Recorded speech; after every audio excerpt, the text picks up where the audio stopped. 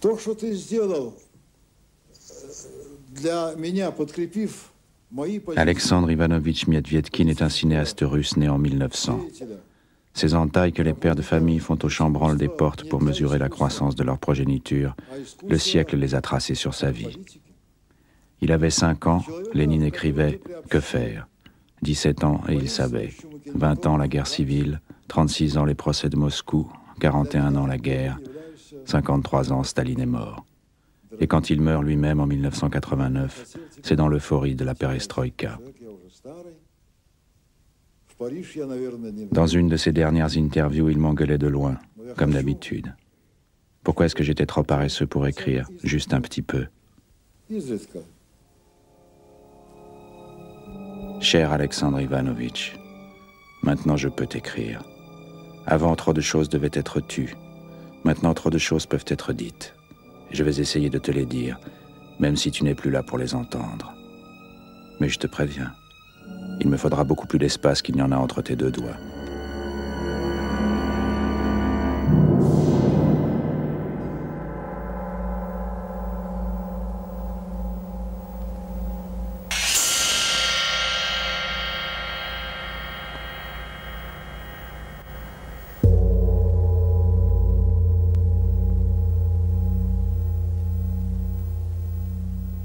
Cette photographie du prince Yusupov a été prise en 1900, l'année de ta naissance. Pourquoi pas le jour de ta naissance? Ça donnerait un bon départ à une histoire où le miracle est simplement une forme un peu plus attentive du quotidien. Un jour, tu ferais des films. Un jour, il tuerait Raspoutine. Vous étiez contemporains et vous étiez compatriotes. À part ça, vous viviez dans deux mondes plus éloignés l'un de l'autre que la Terre de la planète Mars.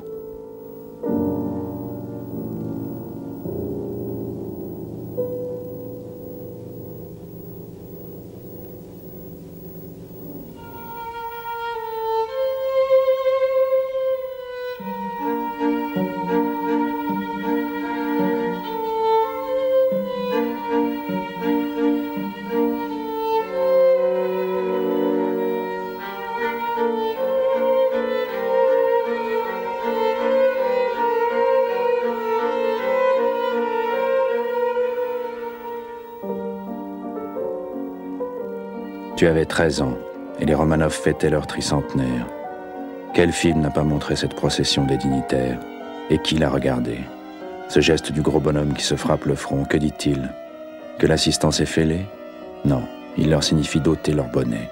On ne reste pas couvert au passage de la noblesse.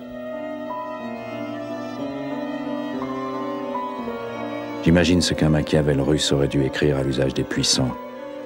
Dominer, exploiter, éventuellement massacrer. N'humilier jamais.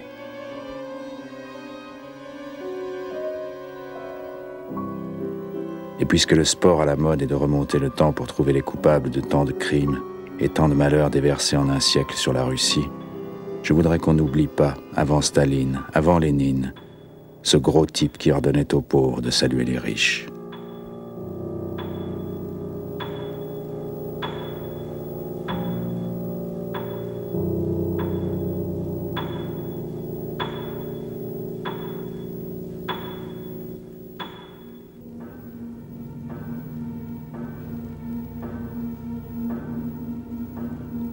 Ces dignitaires-là, tu ne les avais pas ratés dans ton plus beau film et le plus drôle, le bonheur. Ils débarquaient tous lorsque ton héros Khmir, ne pouvant plus supporter sa vie de paysan couvert de dettes, voulait se suicider. C'était le scandale. Noblesse, église, armée, tout le monde se rassemblait autour d'une phrase dont tu ne pouvais pas savoir comment elle résonnerait un demi-siècle plus tard. Si le paysan meurt, qui nourrira la Russie?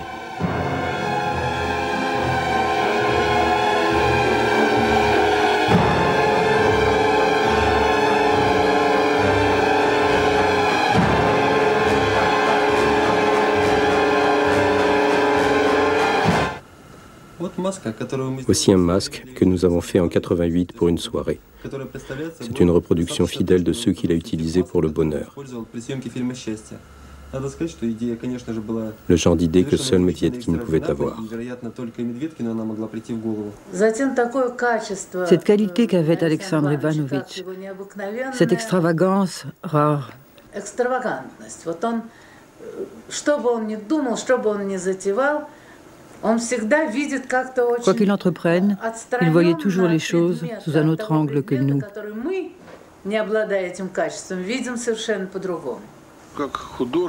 En tant qu'artiste, il était très typique.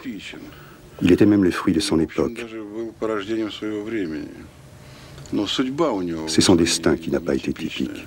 Il faut dire que sa biographie est faite d'une quantité incroyable de pages blanches. C'était la guerre civile. Il a pris part à la guerre civile. La période de construction, il était sur les chantiers, il allait dans les terres vierges.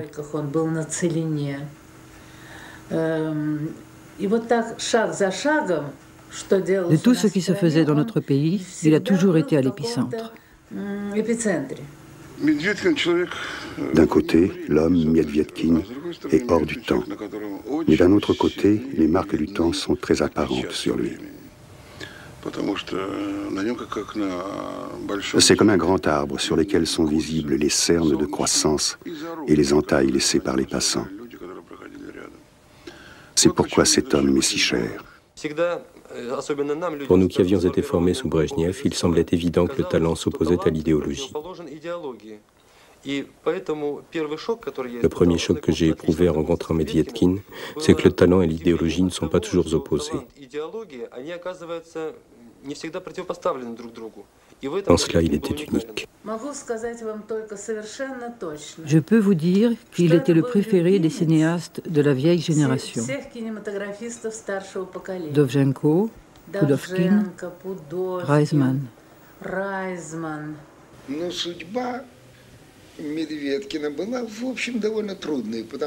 Le destin de Medvedkin a été tragique dès son premier film, qui n'est pas sorti sur les écrans.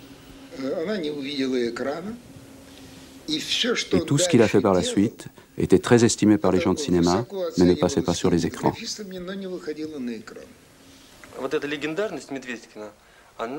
Il faut dire que cette légende Medvedkin a contribué à ce qu'on le découvre une centaine de fois. Et chaque fois, cette découverte faisait sensation parce que tout ce qu'il faisait était inhabituel pour l'époque, en marge de toutes les normes. Si original du point de vue cinématographique et si profondément enraciné dans la culture populaire que la combinaison provoquait une impression de choc. Le mot choc revient très souvent quand on parle de Medvedkin. Ce fut un choc, c'était un choc. Quand j'étais étudiant à l'école du cinéma, Medvedkin m'était totalement inconnu. Un jour, notre professeur, Yuryaniev, nous a annoncé que nous allions regarder Le Bonheur, un film du réalisateur Medvedkin. Personne ne savait de quoi il s'agissait. Et dès le début, on a été sous le charme. On était réellement exaltés, on riait, on discutait pendant la projection.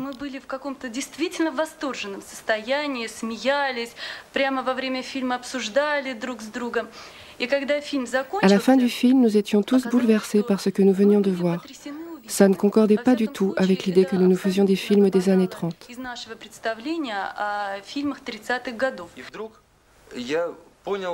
Après une ou deux bobines, j'ai compris que ma conscience refusait tout ça, que tout se mélangeait, se retournait. C'était très étrange.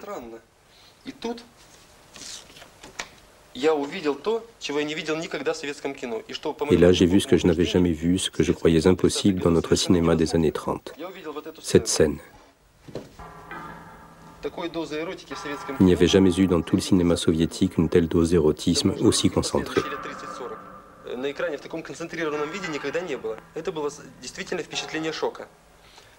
En une minute, j'ai compris que j'aimais ce film.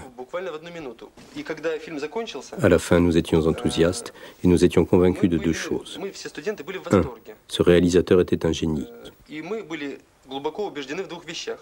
Deux, il avait sûrement été fusillé après ce film.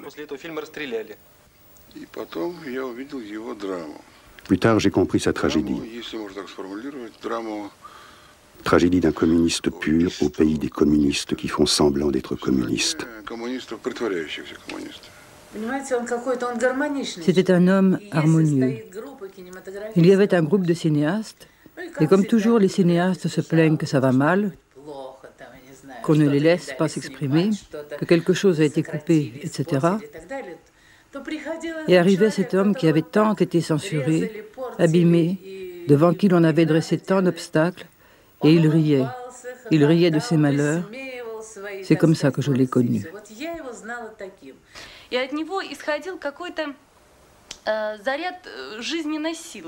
Il émanait de lui un tel flux de force vitale qu'après avoir discuté avec lui, dans la rue, je me sentais des petites ailes.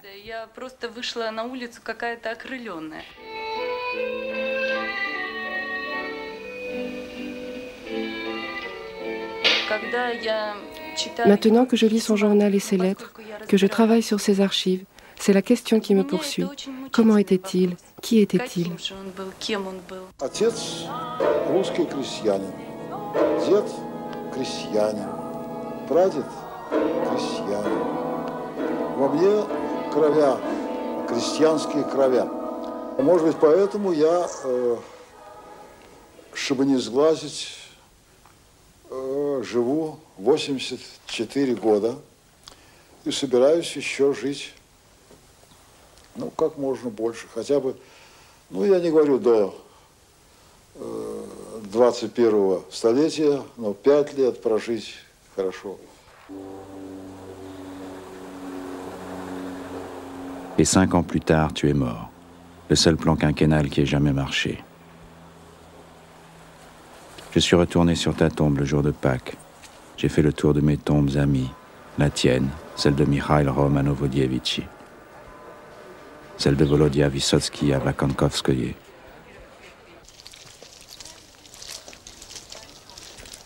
Et quand, titubant un peu dans la boue du dégel, j'ai trouvé dans mon viseur un soldat tsariste qui ressemblait à tes masques. J'ai cru que j'avais forcé sur la vodka qu'on partage ce jour-là, autour des tombes.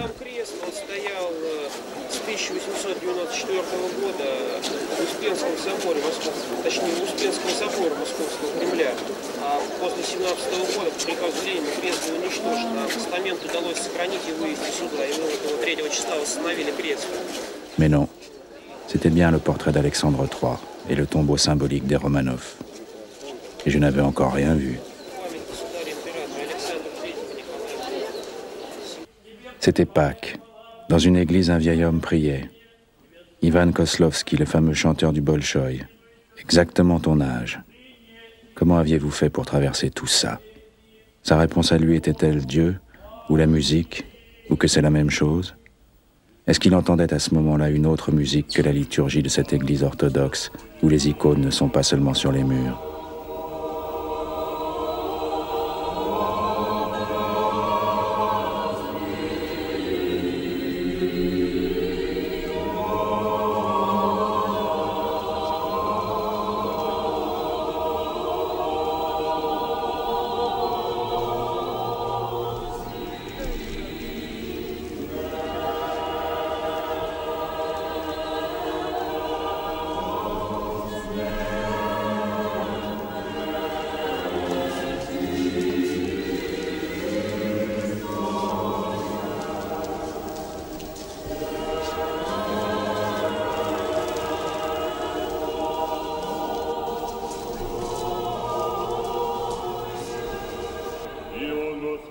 Cette année-là, la grande affaire à Moscou était de se demander jusqu'où le métropolite Pitirim avait collaboré avec le KGB. Pas si, mais jusqu'où. Comme un personnage d'Orson Welles, comme Kane ou Macbeth. Jusqu'où peut-on faire un bout de chemin avec le mal?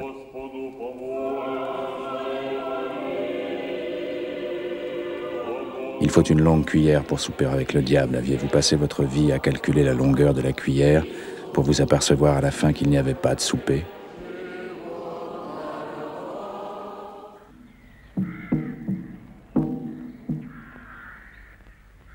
Il faut dire que dans le bonheur, ta vision du clergé était moins dialectique.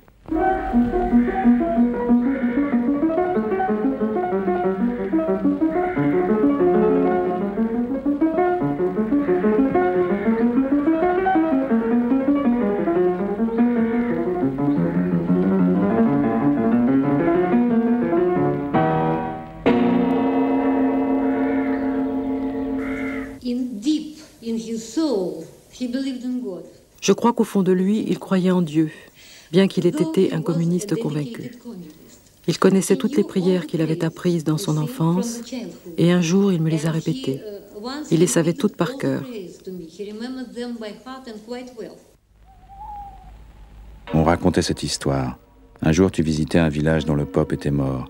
et tu avais bluffé tout le monde en récitant impeccablement les prières.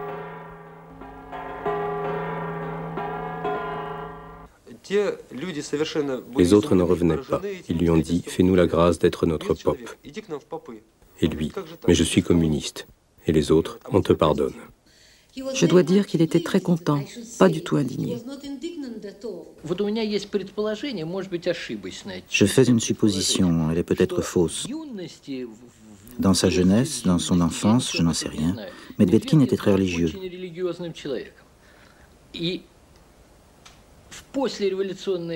Et après la Révolution, il a brutalement basculé d'une religion dans une autre. Et comme ça arrive très souvent, on croit aux nouveaux idéaux, aux nouvelles idées, avec encore plus de ferveur que quelqu'un qui n'a jamais cru en rien. J'ai l'impression qu'il a cru à l'idée d'octobre, aux idéaux d'octobre. Et derrière cet idéal, il y avait le sentiment du bonheur pour l'humanité entière, qui ne serait ni pour aujourd'hui, ni pour demain,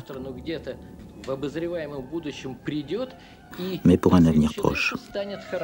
Dans son film Aelita, le réalisateur Protozanov montrait les idéaux d'octobre en train de conquérir la planète Mars. Pour agitateur, un jeune bolchevique qui aurait pu être toi au lendemain de la guerre civile.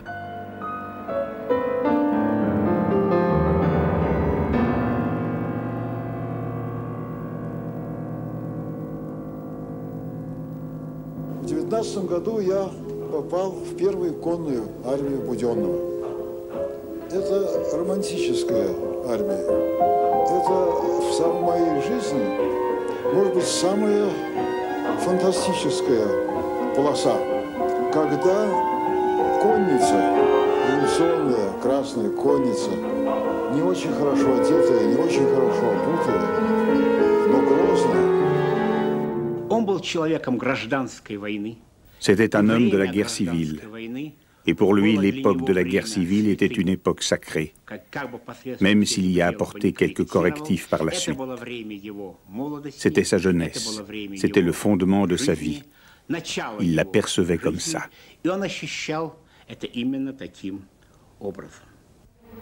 Un autre allait donner une image définitive de la cavalerie rouge, Isaac Babel.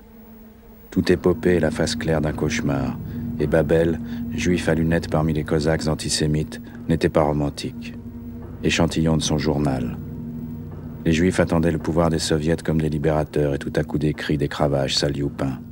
Mais aussi, nous regardions le monde comme une prairie où vont et viennent des femmes et des chevaux. Le cheval de la tradition russe, un ami auquel on parle. Dans le film Arsenal de Dovzhenko, le soldat crie Plus vite, brave coursier.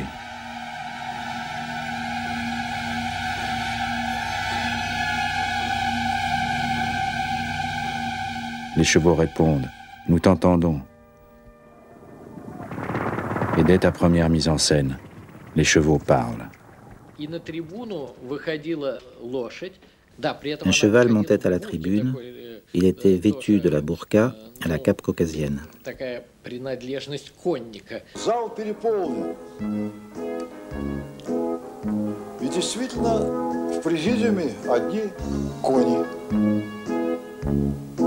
Докладчик – конь. Перед ним вместо графина с водой конное ведро. И он, волнуясь, макает туда голову, пьет и продолжает свой рассказ. Люди сидят в зале, лошади, значит, докладывают. Докладчик говорил, мой, мой хозяин не жалеет меня. Как только вечер комсвода Иванов садится верхом, едет на конец станицы к своей зазнобушке, всю ночь проводит. Очень весело, а я стою на ветру. Что, неправда, товарищ Иванов? Тот сидит в зале. Да, да, хохот. Вот. А тут еще были подсадные утки, то есть были э, те наши актеры, которые помогали поставить этого товарища Иванова в неловкое положение. И там разыгрывалось целый интермедий. Как ты был? У кого? Да я был у... Да у Евдокии был. А, это моя Евдокия, как она, ты скажи, а то я сейчас... C'est cet esprit-là que Medvedkin allait essayer toute sa vie de mettre dans le cinéma. Tout cela en pleine guerre civile. Le théâtre aux armées, mais c'est l'armée qui fait son propre théâtre. Une équation qu'on retrouvera dans tout le travail de Medvedkin.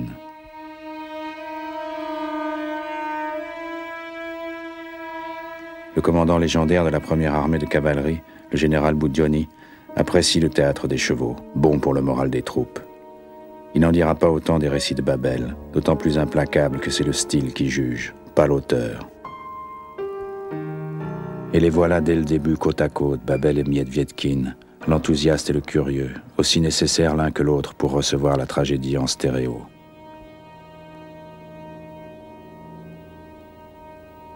Extrait d'une lettre de Lénine à Molotov, 19 mars 1922. C'est maintenant, quand dans les régions affamées on mange des hommes et que sur les routes gisent des milliers de cadavres, que nous devons mener la réquisition des objets de culte avec une énergie enragée et impitoyable. Nous devons livrer le combat au clergé réactionnaire et écraser sa résistance avec une cruauté telle qu'ils ne l'oublieront pas pour plusieurs décennies. Je savais qu'il était resté très ami avec beaucoup de ses anciens camarades de la cavalerie. Il les appelait ses camarades de combat.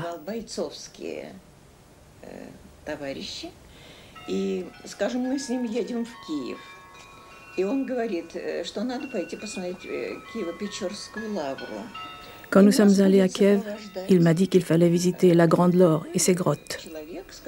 Un ancien de la cavalerie nous accompagnait. Il travaillait au NKVD. C'était aussi un camarade de combat de Babel. Il nous faisait visiter et expliquait qu'ils avaient trouvé là un grand nombre de diamants. Je lui ai demandé, en sondant les murs, en tapant sur les murs pour trouver des caches Et lui, non, en sondant les moines. C'est-à-dire qu'ils amenaient les moines au NKVD et là, il leur faisait dire où ils avaient caché les diamants.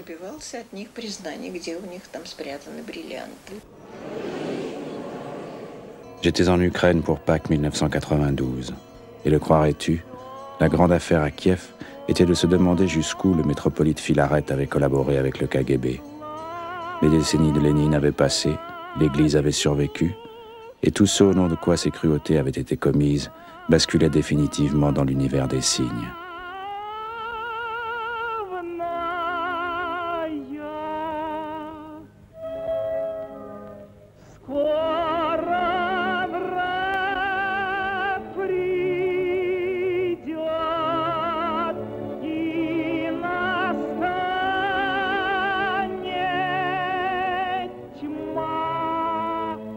M'étais demandé quelle musique le vieil homme de Moscou écoutait au-delà de la liturgie. Je crois qu'il entendait les mots qu'il avait chantés si souvent lui-même dans Boris Godunov quand il interprétait comme personne ne l'interpréterait jamais le rôle de l'innocent.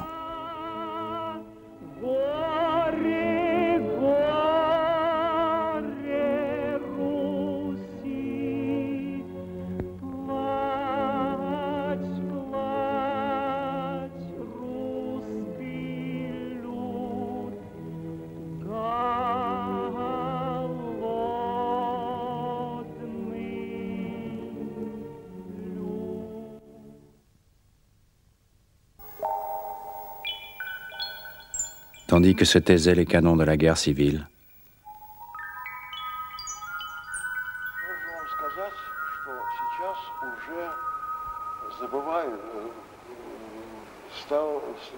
забывают о том, что 1900, скажем, 21-22 год, это совершенно не то, что сейчас.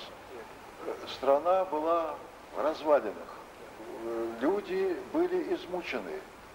Мужское население погибло в гражданской войне. Хлеба не было. Промышленность разрушена. Транспорт не работал. Вдобавок выросло в связи с Первой мировой войной, выросло поколение неграмотных людей – мы получали пополнение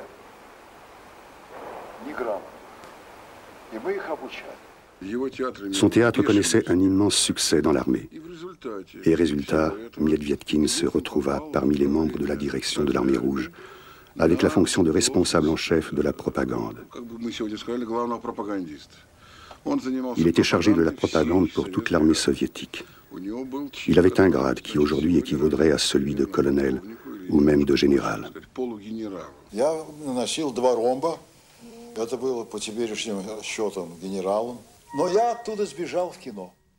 Quoi de commun entre un chat qui fait sa toilette, un très jeune général de l'armée rouge et une statuette de pêcheur chinois?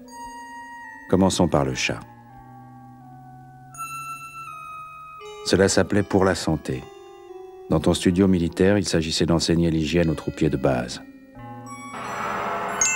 N'aie pas peur de l'eau, disait un carton.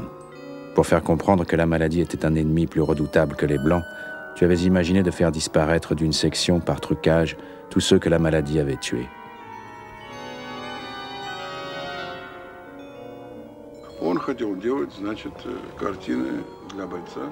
Il voulait faire des films pour les soldats.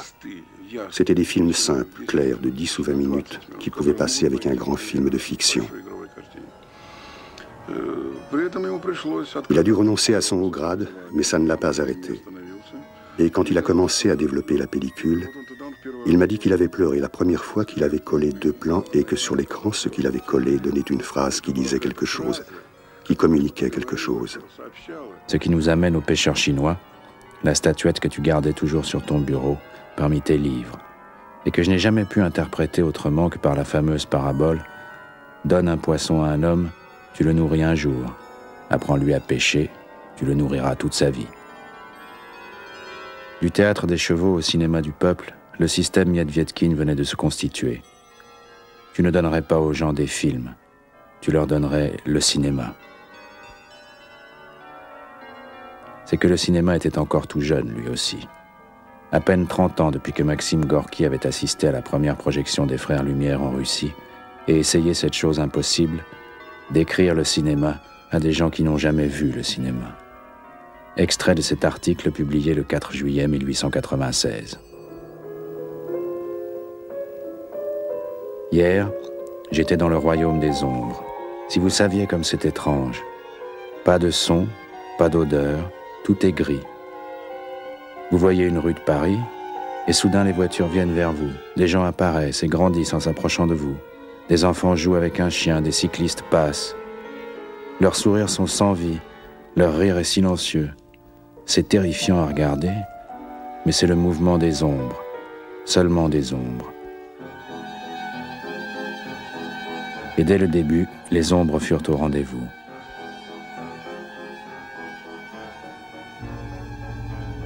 Pas un véritable film, mais l'enregistrement sur film d'un spectacle de rue, celui qui célébrait sur les lieux mêmes le troisième anniversaire de la prise du Palais d'hiver en octobre 1920.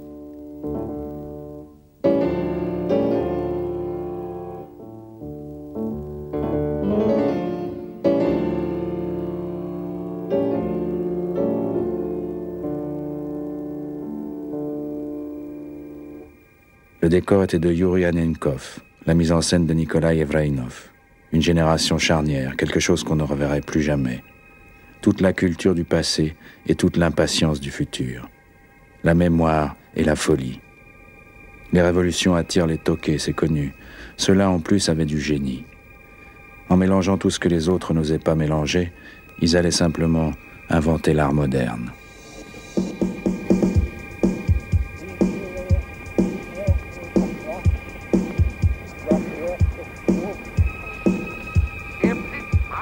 Cet art russe des années 20, on a voulu l'opposer idéologiquement à l'art stalinien. Il s'opposait à lui surtout par le talent. L'idéologie, c'était déjà celle de l'homme nouveau, de l'avenir radieux, qui ponctuerait les défilés sur la place rouge et qui servirait d'introduction à un demi-siècle de cinéma soviétique.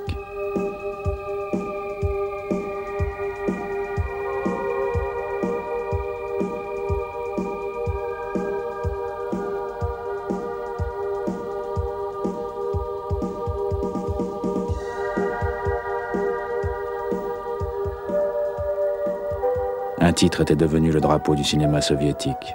Le cuirassé Potiemkin, bien sûr. Formidablement symbolique que le nom d'un ministre de la Grande Catherine, inventeur de la propagande par les apparences, ait baptisé la plus géniale mise des apparences au service de la propagande. Le film Le cuirassé Potemkin, je l'ai vu quand j'étais enfant, quand j'avais à peu près 10 ans, en Allemagne. À Odessa, en haut des escaliers, se trouve un monument unique. L'image des héros ne vient pas de la vie, même transfigurée, mais directement du cinéma. Toute la légende Potiemkin viendrait du cinéma.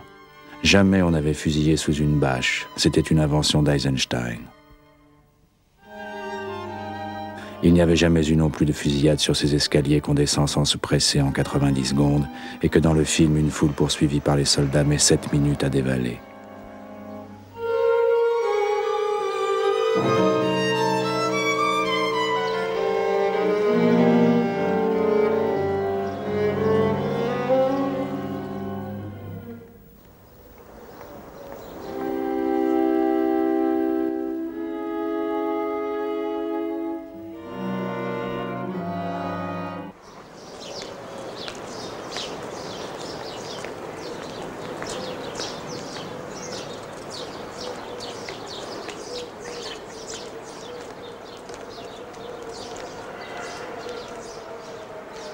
Ce qu'on ne nous disait pas, c'est que ce film symbole avait été un échec commercial en Union soviétique. Le public préférait ce qu'un historien du cinéma désigne du même mot, entertainment, divertissement, qu'un lecteur de Time Magazine utilise en 1991 pour accabler le cinéma européen. Les gens ne vont pas payer pour de l'art, mais pour du divertissement. Pendant que les ciné-clubs européens rêvaient des matelots du Potiemkin, les spectateurs russes rêvaient de Mary Pickford et de Douglas Fairbanks. Avant de devenir caméraman, ton camarade Tolchan avait fait cette photo. Vous aviez le même âge, à un an près. Quand je reviendrai à Moscou après ta mort, c'est toi quelquefois que j'écouterai par sa voix. Pour moi, c'est un devoir moral. Parce que, pas aujourd'hui, dans cette vie dégoûtante, mais dans 20, 30 ans, les gens voudront savoir comment on vivait. Peut-être auront-ils enfin une vie décente.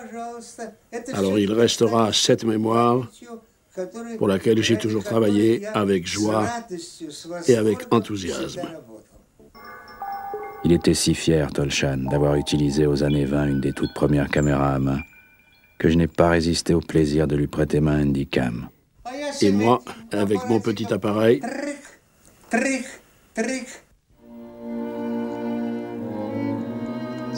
Non, non, non, non, un vrai, un vrai, un vrai. Un vrai plan. Son dernier acte de propagande aura été pour Sony. Colossal, colossal, colossal. J'avais l'impression qu'un gigantesque torrent avait renversé un rempart pour déferler sur l'Union soviétique pendant la Révolution.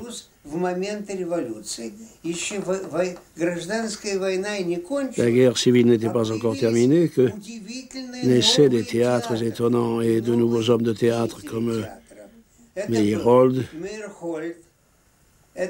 Bertangov et Eisenstein.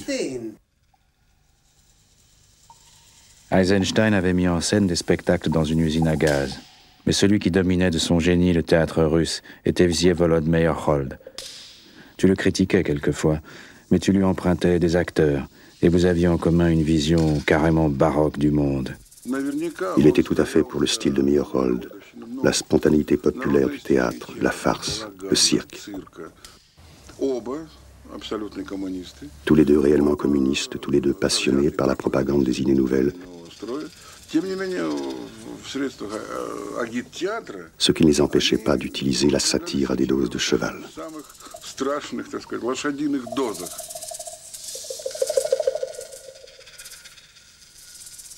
Les films que Meyerhold insérait dans ses spectacles étaient des essais de ciné tournés par un jeune cinéaste d'avant-garde, Ziga Vertov. De tous, il était sûrement le plus proche de toi par l'ambition et la sincérité. On n'en finirait pas de vous comparer et quelquefois de vous opposer, n'est-ce pas Jean-Luc? Vous vous battiez sur les mêmes fronts de propagande, vous aviez les mêmes ennemis, ce qui rapproche. À un moment, vous habitiez le même immeuble, et pourtant, tous les témoignages concordent de toute votre vie Vous avez à peine échangé quelques mots. Le dernier endroit sur Terre où on vous appelle Tovarich est le MoMI, Museum of Moving Images, le musée du cinéma à Londres, qui est aussi un temple à Dziga Vertov.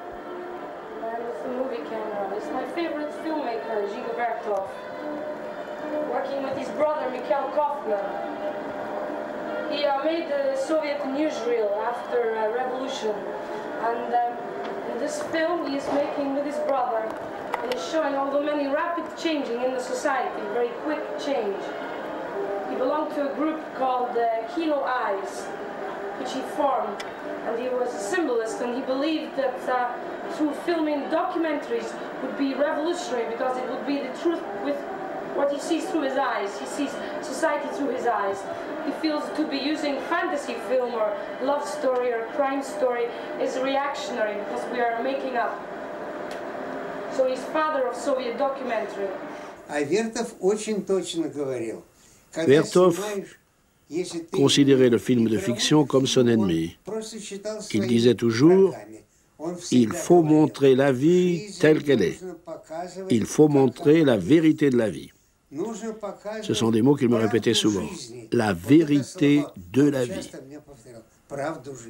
Il disait, on saisit les actualités en trois temps l'événement 1. En une seconde, le saisir par la pensée 2. Appuyer sur le bouton 3. Si en 2-3 secondes tu exécutes ce triangle, alors tu as le vrai savoir-faire du chroniqueur.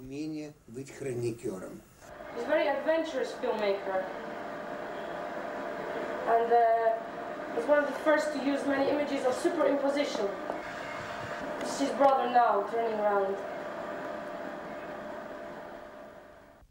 Je suis particulièrement intéressée par beaucoup d'aspects de la Révolution, parce que je suis quelqu'un de très politique. Je l'ai toujours été, mais je ne savais pas grand-chose.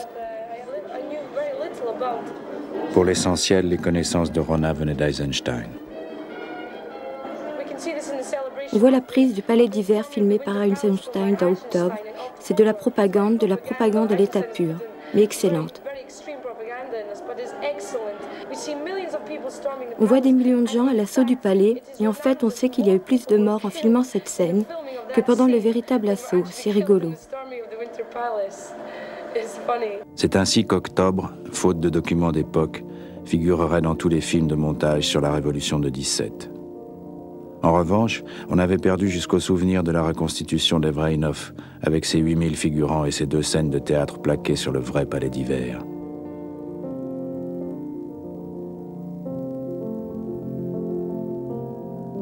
Et pourtant c'est elle qui allait involontairement faire commettre un des plus gros mensonges de l'histoire des images. Cette célèbre photo d'octobre 17, toujours reprise par les maisons d'édition les plus respectables, ne représente pas la prise du palais, mais sa copie théâtrale en 1920. On peut même repérer le moment exact où elle a été prise. Ici.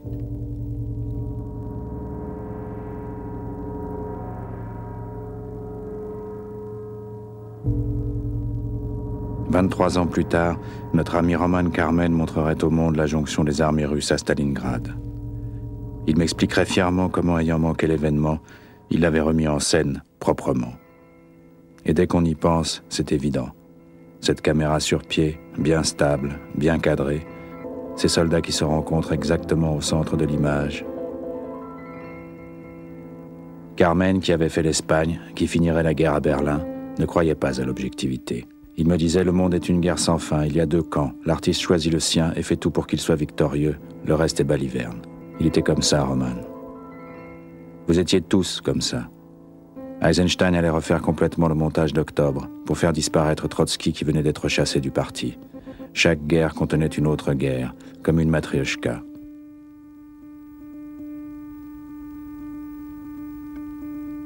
Dans l'autre camp, les images aussi servaient à faire la guerre. Quand elles n'existaient pas, on les fabriquait. Il y avait en Allemagne toute une industrie du film anti-bolchevique.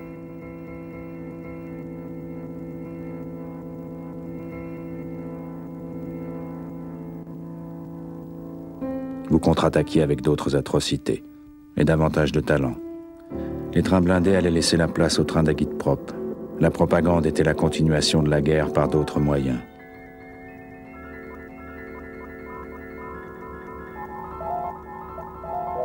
Ces trains transportaient des livres, des affiches, des disques, des tracts, et tous avaient leur wagon cinéma, comme celui qu'on a reconstitué aux momies. Il y avait des projecteurs et des caméras, des films faits au sommet pour l'enseignement de la base, des documents tournés à la base pour être mis en film au sommet. Bientôt tu allais renverser ce bel équilibre.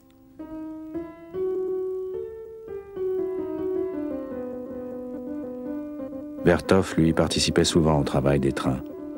Il était gai et enthousiaste. On l'aperçoit sur quelques images avec son bonnet de fourrure.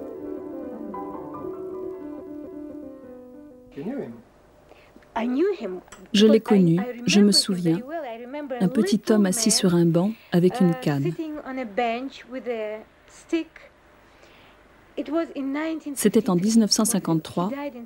Il est mort en 54. Il était très malade. Il avait l'air très déprimé. C'est tout ce que je me rappelle. Je lui disais bonjour. J'étais une petite fille. Mon père, je ne peux pas dire que mon père était son ami parce qu'il n'avait pas d'amis.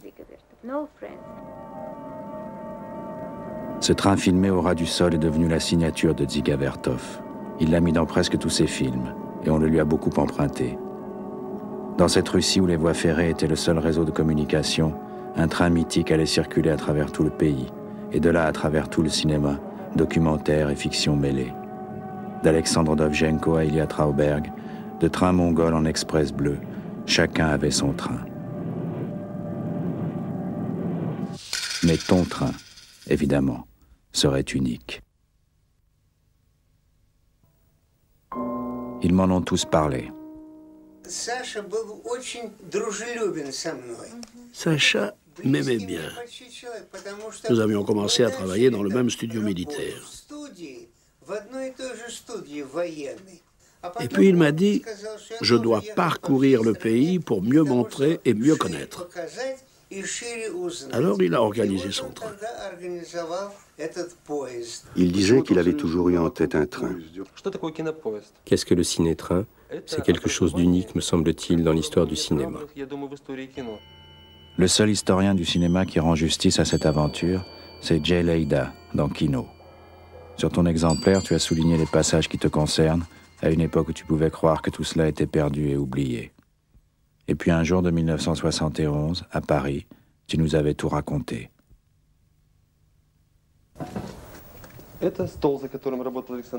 La table de travail d'Alexandre Ivanovitch. Son portrait fait en France en 1971.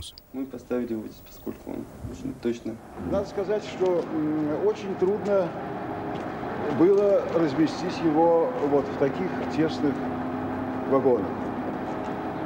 Но мы были молоды, и нам казалось очень интересным снять киностудию с каменного фундамента и поместить ее в тесные вагоны, попытаться сделать так,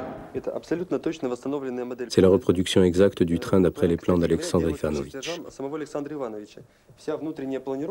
Tout avait été fait d'après ses indications. Il était cheminot dans sa jeunesse et tout était parfaitement adapté. Мы взяли три пассажирских вагона. Из них выбросили все пассажирские места и все оборудование, освободили площадь и разместили в ней самые главные цеха. Ну, киностудии самый э, нужный цех и необходимый цех – это кинолаборатория, где обрабатывается пленка. Половина вагона, наши вагоны были больше, чем эти, и они немножко были шире, э, чем французские. Вот половину вагона мы отдали под кинолабораторию. Ici, les films étaient développés, séchés et tirés.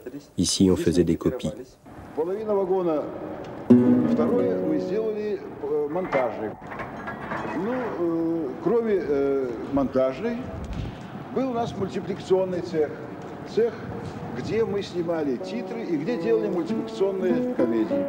Pour des raisons restées mystérieuses, ce chameau était le symbole de la honte. On le faisait passer devant les ateliers de ceux qui travaillaient mal, et ils avaient honte. Là, il y avait le garage avec une camionnette, il s'ouvrait et la voiture descendait. Cela donnait au groupe de caméramens une grande mobilité. Ils pouvaient aller partout où ils avaient besoin de filmer. Ils avaient même un cuisinier qui leur préparait de bons plats. Et il nous a emmenés avec lui, ma mère et moi.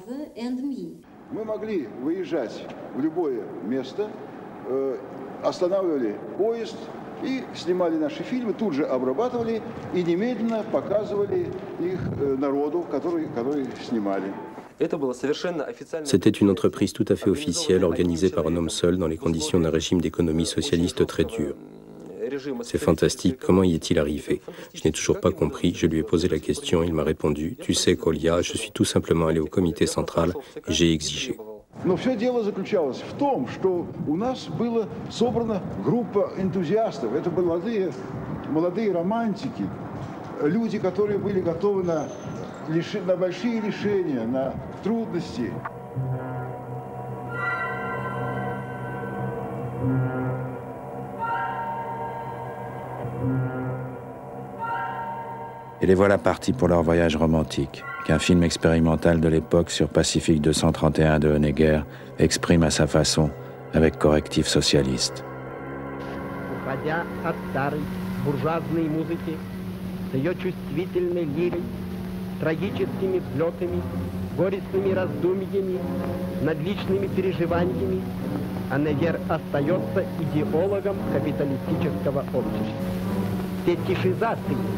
техники повинен и автор Пацифика, как бы талантлив он ни был.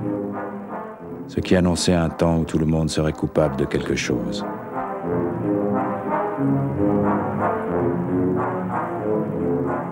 Nous t'écoutions raconter le train et nous rêvions.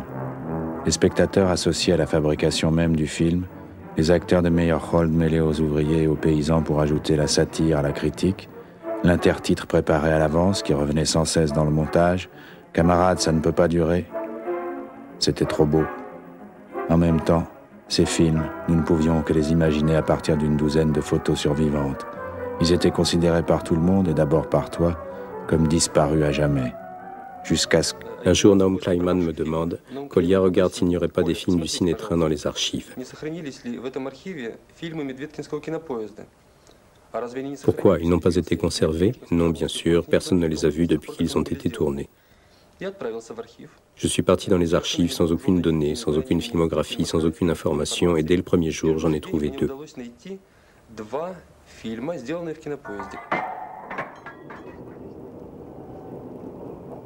Colia a finalement découvert neuf films du train. Je voudrais qu'ici le spectateur ressente le même pincement au cœur que j'ai éprouvé dans la petite salle de montage des archives quand j'ai eu sous les yeux ces plans dont tu nous avais tant parlé. Depuis 1932, aucun regard ne s'était posé sur eux. Ce n'était pas une émotion d'archiviste. Ce que je voyais là, personne ne l'avait jamais montré. Aux années 30, la réalité était toujours arrangée, mise en scène, édifiante. Même Vertov avait cessé de croire à la vie comme elle était. Et toi, tu avais filmé les débats entre ouvriers, armé bien sûr de ta bonne conscience socialiste, mais sans jamais tricher avec l'image. D'après ton journal, le constat était accablant. Absentéisme, pagaille bureaucratique, fauche d'un atelier à l'autre. Ce serait sans doute trop demander à la réalité de ce temps-là d'avoir été l'exemple de démocratie ouvrière que tu voulais y voir. Du moins ceux qui étaient mis en cause se défendaient-ils. Ce n'était pas encore le temps des aveux. Et à cette époque de slogans triomphalistes, le dernier carton sonnait étrangement mélancolique. Réparateur de locomotive, où sont vos engagements?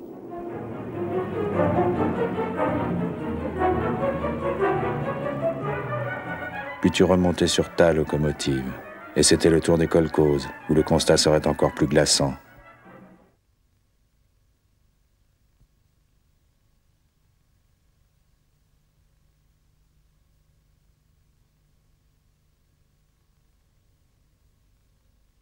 Снимали их, показывали их недостатки, сопоставляли на экране и хороший опыт, и плохой.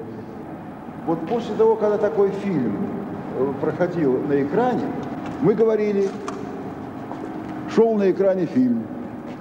Что ж вы делаете, дорогие товарищи? Разве можно так относиться к хлебу, относиться к своему рабочему времени? Так же не получится ничего. И тут как будто прорывался нарыв. выступали все и выступали необычайно все. Это был гнев народа, которому мы давали выход. А здесь выделялось несколько пунктов. Кого убрать, выгоняли негодных людей без жалости. Тогда была революция, и мы были очень жесткими. Сейчас мы очень мягкие, улыбчивые. Мы все заглаживаем, боимся обидеть товарищей. Тогда обижать мы не боялись. Premier bouc émissaire d'une longue série, le Koulak.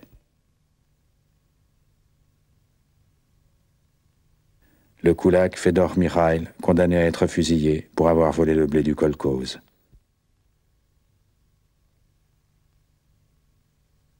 À ce moment-là, Isaac Babel écrivait son récit, Le village.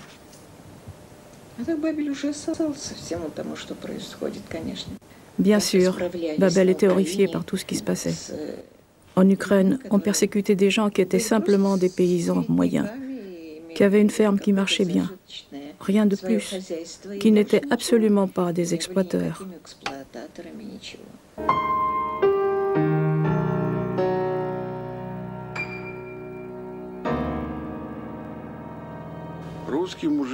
Il pense que le moujik russe n'est pas allé spontanément dans le kolko aussi merveilleusement conçu pour lui. Nous savons aujourd'hui pourquoi. Parce qu'on l'y a poussé sous la menace des fusils, parce qu'il n'avait pas le choix. S'il avait pu choisir, il aurait choisi d'autres formes, peut-être même la coopérative, mais sous une autre forme.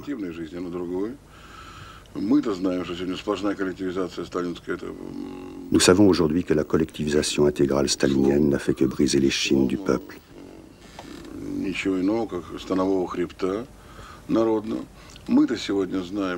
Nous savons aujourd'hui que la collectivisation entraîne à la famine et l'instauration de tickets de rationnement dans les villes. Que les kolkhozes produisaient dès le début dix fois moins que les paysans individuels. Nous savons tout cela, mais lui, il ne le savait pas à l'époque. Il était de bonne foi quand il se trompait, il pensait que travailler ensemble, c'était mieux. La logique était la même que pour l'ouvrier dans les villes. Si l'ouvrier travaille seul comme artisan, il produit peu.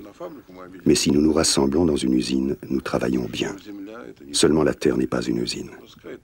Celui qui travaille seul du matin au soir peut faire beaucoup plus que 40 qui ne travaillent pas. Mais qu'est-ce qui comptait pour Staline Pour Staline, ce qui comptait, c'était la possibilité pour l'État impérialiste de réquisitionner le blé. Tout ce que produisait le kolkhoz devait être réquisitionné. Tout. Le kolkhoz se prêtait formidablement à cela. Miedvietkin, qui ne savait rien de tout ça, se demandait sincèrement pourquoi est-ce qu'on travaille si mal au kolkhoz? Mais pourquoi?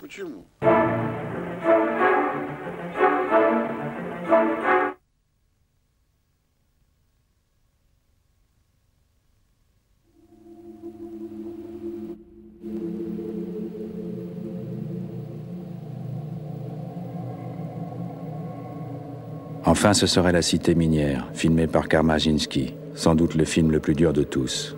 Ici, pas de Koulak à accuser, seulement le constat d'une misère ouvrière innommable, opposée aux parlottes des membres du comité.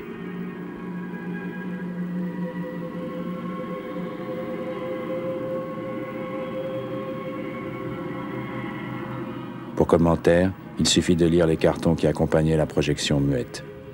Ici vivent 1500 ouvriers de la mine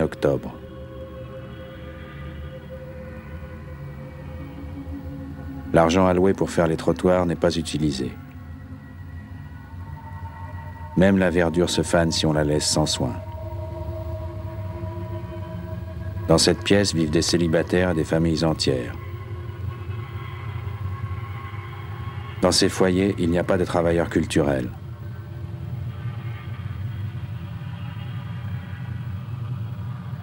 Il n'y a pas de contrôle social. Il n'est pas rare que les ouvriers dorment sans matelas ni couverture. La paille, le responsable du foyer n'en trouve pas. Il n'y a rien pour bourrer les matelas.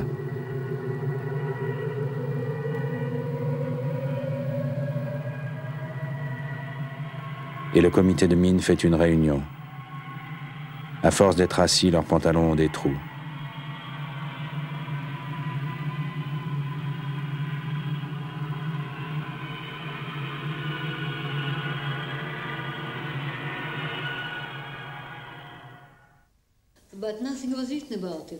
Mais rien n'a été écrit sur tout ça. Le train a été quelque chose d'important pour le pays. Mais son travail n'a jamais été montré ni commenté dans la presse. Pas un seul mot dans la presse sur le train, comme s'il n'existait pas. Ça peut paraître étrange, mais pour moi, c'est tout naturel. Parce que ce que le train et mon père révélaient, c'était les mauvais côtés, les aspects négatifs de la vie dans les républiques.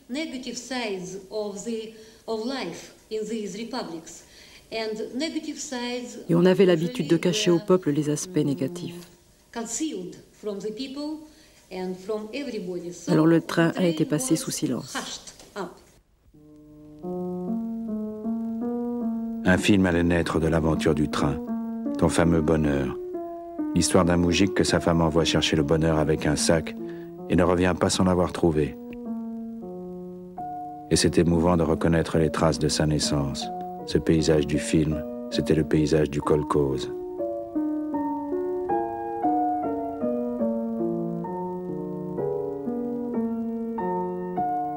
Des scènes de la vie du kolkhoz seraient transportées dans le film. L'héroïne devant son arbuste, c'était le souvenir de la verdure abandonnée dans la cité minière. Le montage haché que tu avais inventé pour la livraison des sacs, tu le reprendrais tel quel. Et jusqu'à la façon dont tu représentais la fauche dans les ateliers de locomotive, qui se retrouverait dans une de tes scènes les plus jubilatoires.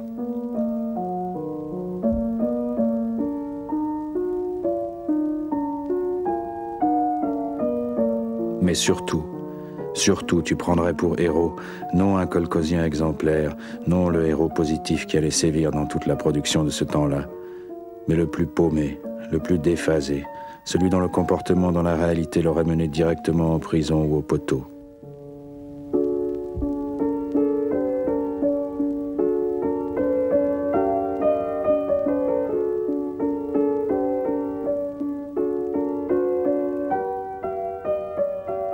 Saurons jamais quelle est la part de conscient ou d'inconscient dans ces images, mais mon propos est d'interroger les images. Et avant l'obligatoire fin heureuse, on voit ici ce qu'il y avait dans les yeux du moujik mis en face de l'autorité.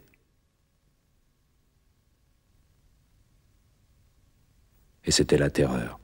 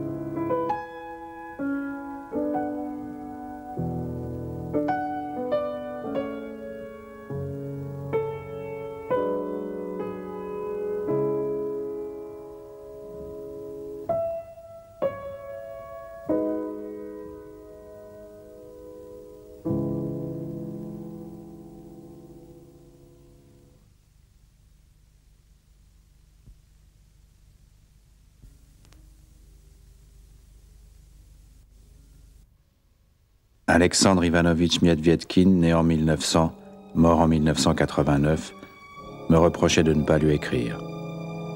Aujourd'hui, je lui écris.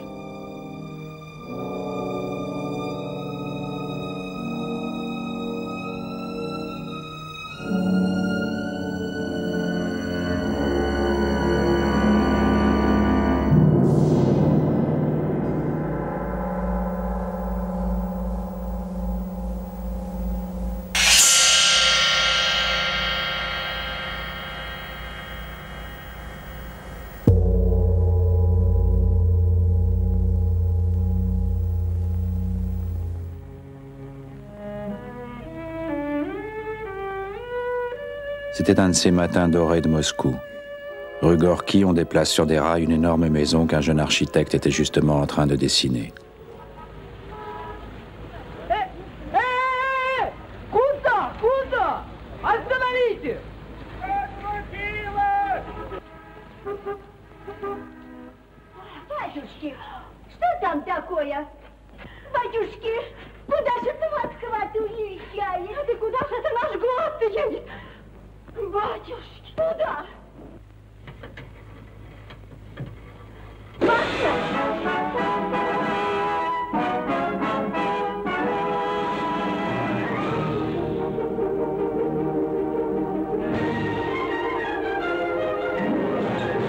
Film s'appelait La Nouvelle Moscou. Quand on voit ce plateau digne de Busby Berkeley, on se dit que c'en est fini de ta mise à l'index. Comme d'habitude, tu ne peux pas t'empêcher de laisser ici et là tes signes. Le petit cheval à poids, Don Quichotte, ou bien l'ours qui dort à l'intérieur de ton nom. Medved, l'ours. C'est lui, il aimait beaucoup les figurines qui représentent des ours. Il faut dire qu'il aimait beaucoup les animaux. Pas seulement les chats, tous les animaux. Les chiens, les chevaux. Comme ancien cavalier, il aimait beaucoup les chevaux. Dans Chudjesnitsa, celle qui fait des miracles, une vache bottée servait d'instrument à la sorcière du village.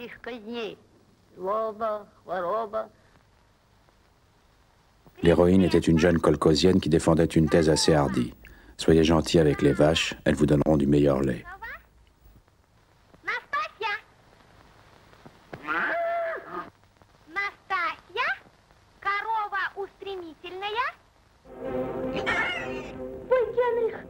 Dans la nouvelle Moscou, le fil d'Ariane était dévidé par un cochon.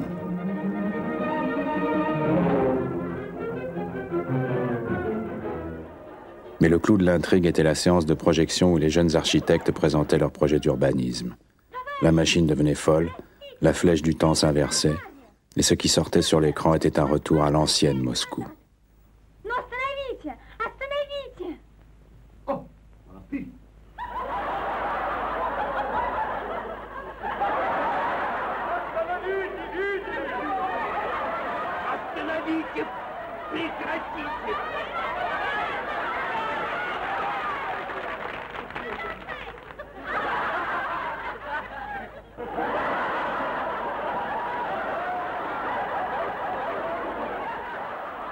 Naturellement, le jeune héros reprend les choses en main et tout repart dans le bon sens, vers l'avenir radieux.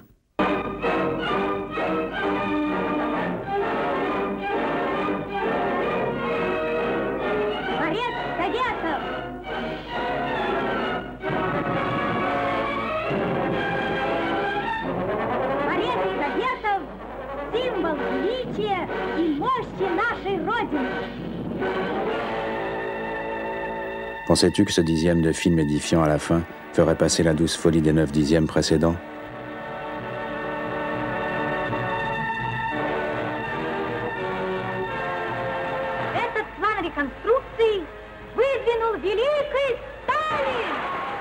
Tu te trompais. Une projection, et le film était interdit.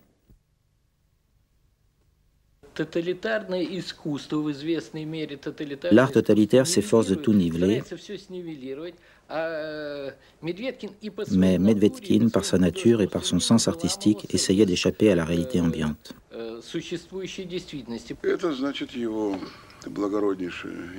Cela veut dire que la noblesse de son idée inspirait la noblesse de ses films.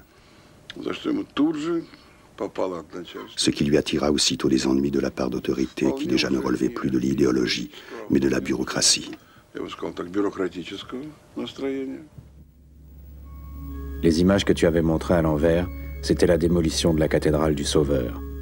Plutôt que le prétexte officiel, présenter les architectes comme des gens peu sérieux qui courent les filles, c'est peut-être là qu'il faut chercher la raison de l'interdiction. La grande pâtisserie léniniste devait remplacer cette splendeur massacrée, et inverser le temps, même sous forme de gag, était sans doute trop pour les bureaucrates.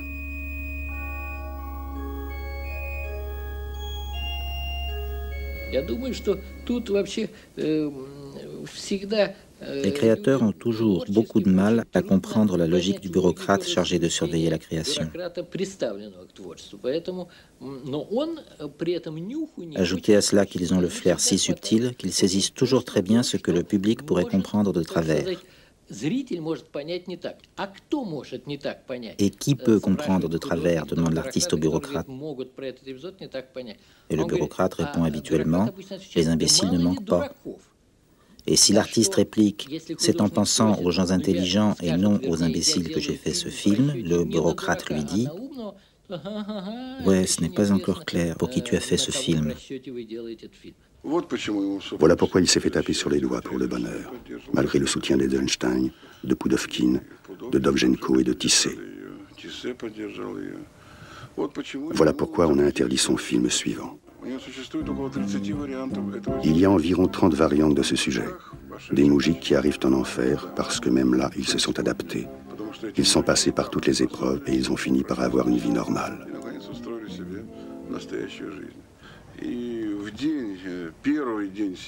Le premier jour de tournage, on fait irruption sur le plateau. C'était en 36, pour lui dire que tout était terminé, que le tournage n'irait pas plus loin. Pourquoi?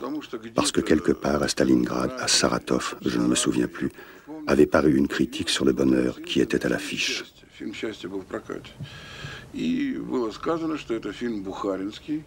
On disait que ce film était boukharinien, anti-stalinien.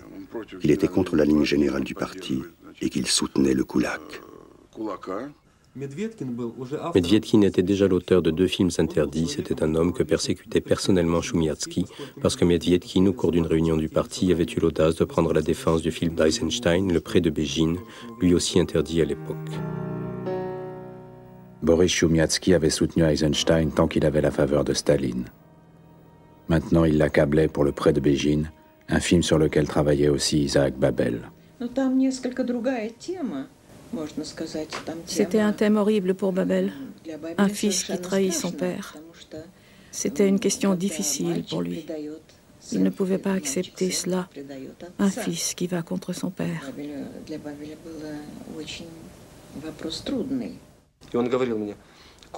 Il me disait Kolya Boris Zakharovitch Choumiatsky était un vieux bolchevique, membre du parti.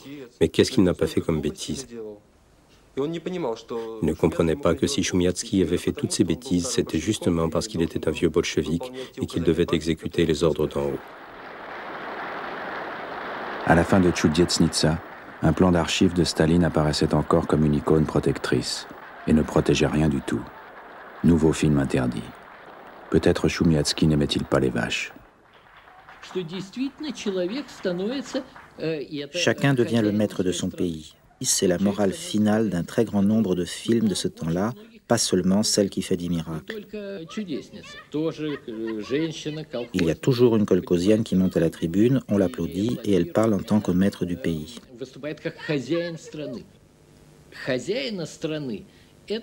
Maître du pays, c'était bien entendu une illusion, mais une illusion entretenue par tous les moyens. Elle servait à cacher les vrais maîtres qui décidaient, et d'ailleurs pas au pluriel, le seul maître qui décidait du sort des gens, de la marche du pays et du cours de la vie de chacun.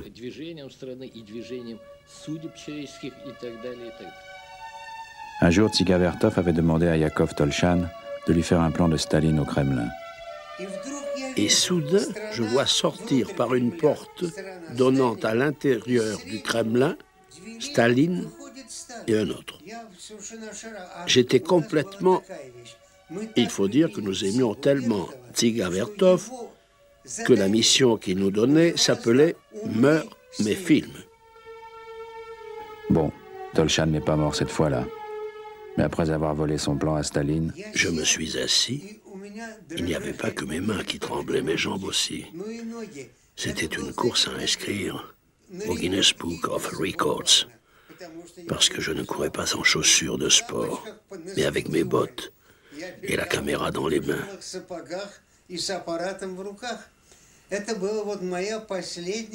Ça a été mon dernier tournage de ce genre. J'avais compris que c'était devenu trop dangereux. Un de mes camarades caméramens a trouvé la mort comme ça, pour rien du tout. Et alors j'ai tout fait pour éviter ce genre de tournage. Et je n'ai plus jamais filmé Staline. Mais aussi quelle idée de filmer Staline. Le réalisateur Mikhail Chaoureli et l'acteur Gelovani étaient là pour ça. N'oublions pas que nous sommes au royaume des ombres et que pour beaucoup de spectateurs de ce temps-là, le vrai Staline, c'était lui.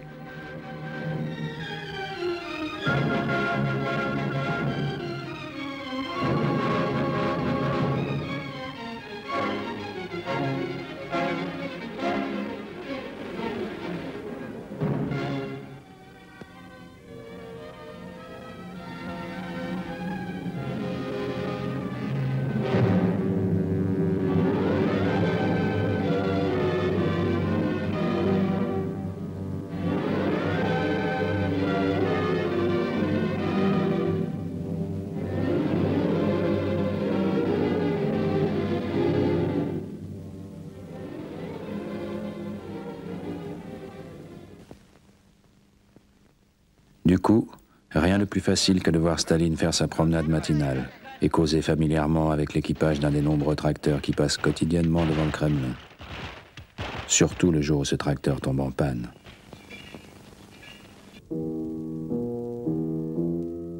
Dans la plupart des films de cette époque, il y a une scène où le tracteur tombe en panne. Difficile de ne pas y voir la métaphore de ces pannes continuelles de l'industrialisation que tu essayais de mettre en lumière à l'époque du train. Mais comme tu ne faisais jamais rien comme personne, dans le bonheur, ton tracteur ne tombait pas en panne. Il devenait fou. Aidé bien sûr par le Koulak qui utilisait sa compétence technique pour tromper les masses.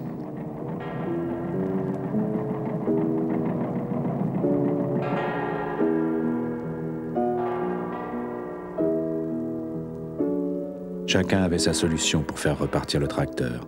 Celle de Dovzhenko dans la terre était un peu rustique, mais apparemment efficace.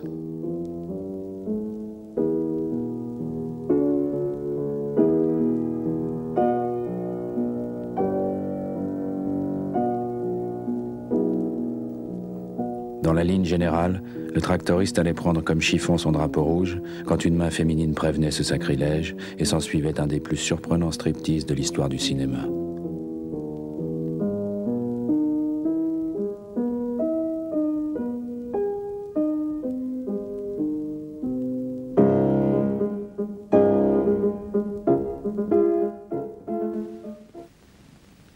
Avait évidemment une meilleure solution. S'en remettre au chef.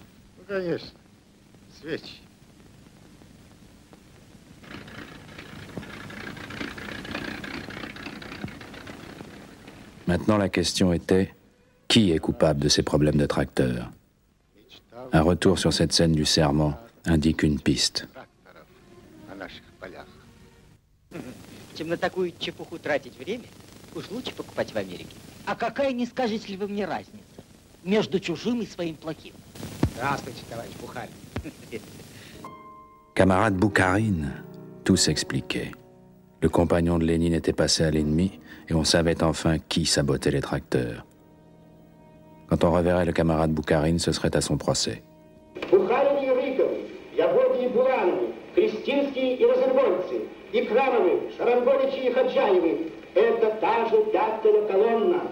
Это тот же ПУОМ, это тот же Ку-Клукс-Клан. Это один из отрядов фашистских провокаторов зажигательной войны, действующих на международной арене. Потом у нас еще был страх. Et puis nous vivions dans la peur, et impossible d'y échapper. Et si Ciaurelli, qui glorifiait Staline dans ses films, avait peur de Staline,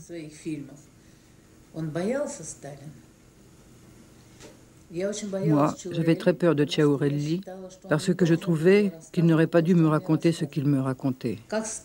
Comment Staline le regardait? Excusez-moi quand il allait aux toilettes. Il me disait, tu ne peux pas t'imaginer comme c'est terrifiant quand le chef,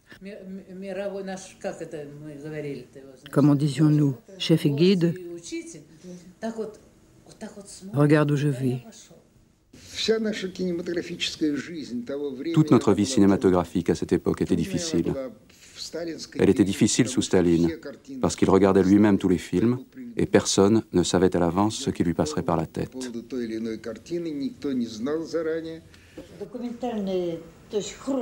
En ce qui nous concernait, que ce soit les actualités ou le cinéma documentaire, il n'y a pas un film que Staline et son entourage n'aient vu. Il aimait les documentaires. Il aimait aussi la fiction, mais les documentaires, il les regardait tous.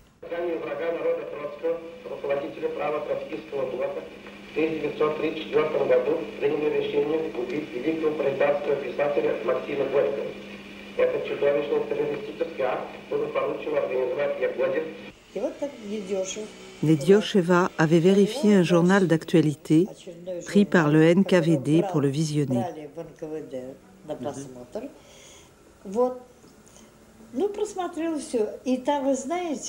Et vous savez, sur la tribune, là-haut, sur le mausolée, on voyait dépasser un nez. C'était celui de Yagoda. C'était tout. On nous a pris ce journal et nous n'avons plus jamais revu Netyusheva.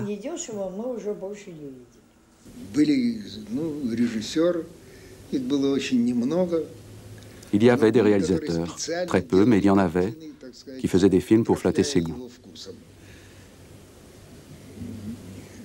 C'était Tchaoureli, Alexandrov, Piriev.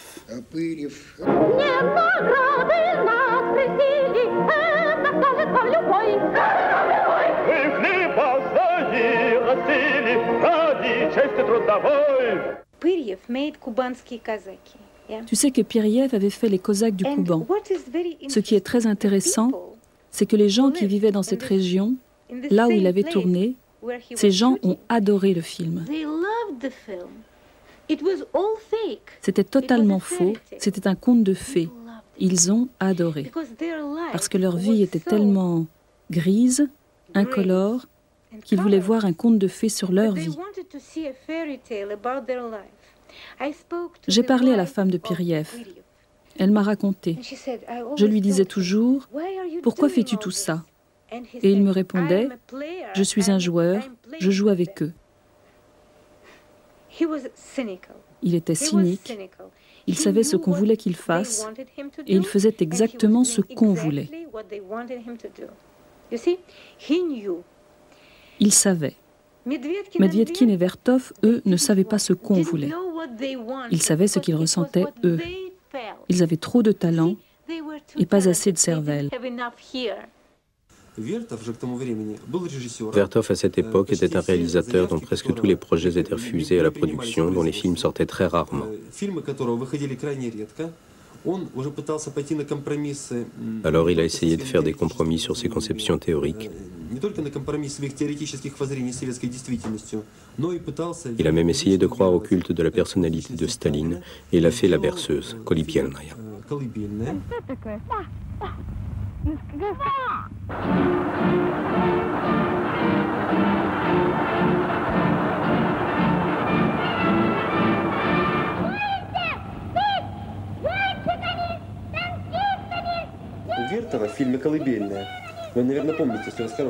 me souviens que dans Kalibi el dans le plan où les enfants apportent des fleurs à Staline, il y a à droite une barre noire, donc quelqu'un a été effacé. Qui était-ce?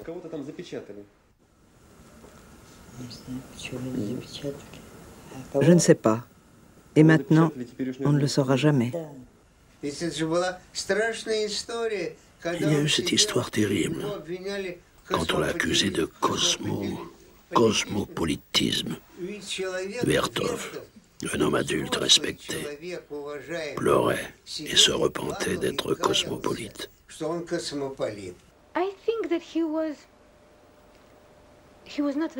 Je pense qu'il n'était pas très intelligent. Il était plein de talent, plein de tempérament, plein de sensibilité, plein d'énergie. Il aimait son métier. Et il voulait servir son Dieu. Et ce Dieu était le communisme.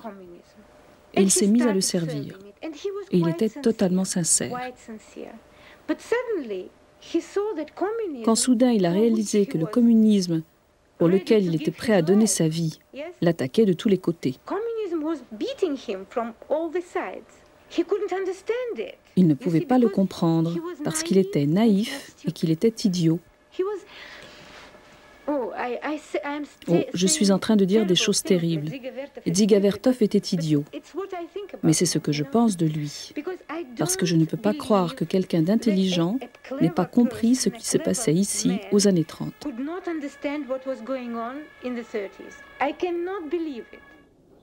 Il a quand même fallu 50 ans. Lorsque le 6 juin 1990, j'ai accompagné Yves Montand et Costa Gabras à la première projection de l'aveu à Moscou, nous pensions à ce qui se disait souvent pendant le tournage du film. Le jour où on montrera ça en URSS, c'est que quelque chose aura vraiment changé. La projection avait lieu au Keynote Center. Les soviétiques, ils étaient encore soviétiques, entendaient les paroles du procès, voyaient la foule s'attaquer aux chars russes à Prague.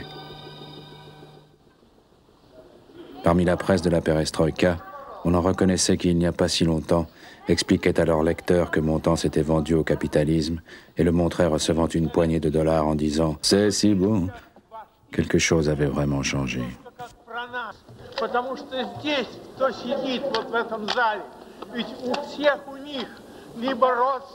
Le vieux marionnettiste Bratsov se levait pour dire Ceux qui sont assis dans cette salle ont tous un parent, un proche ou un ami qui est mort là-bas. Nous avons tous souffert comme ont souffert ces gens qu'on a vus dans votre film, qui est notre film. Il faut le montrer parce que nous l'avons tous regardé comme nous aurions regardé notre film.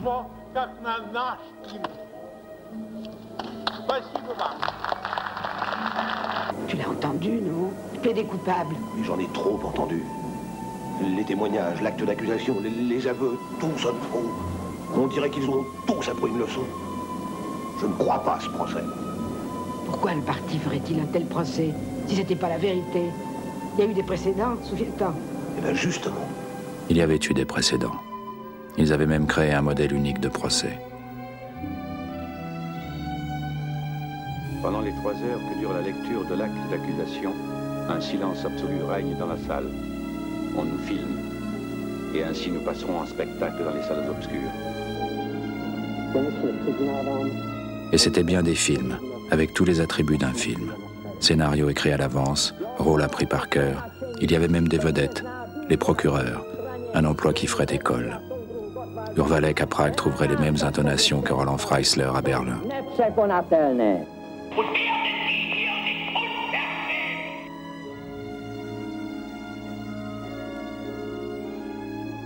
Au royaume des ombres, il existe d'étranges jeux de miroirs.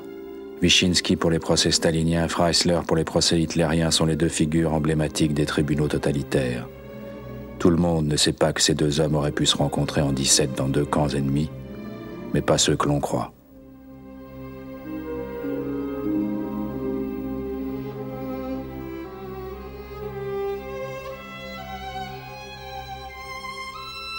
Wyszynski, militant menchevique, était l'adversaire des bolcheviks, auxquels il se rallierait plus tard, et Roland Freisler, le futur procureur nazi, prisonnier de guerre allemand libéré par la Révolution, était à l'époque commissaire bolchevique.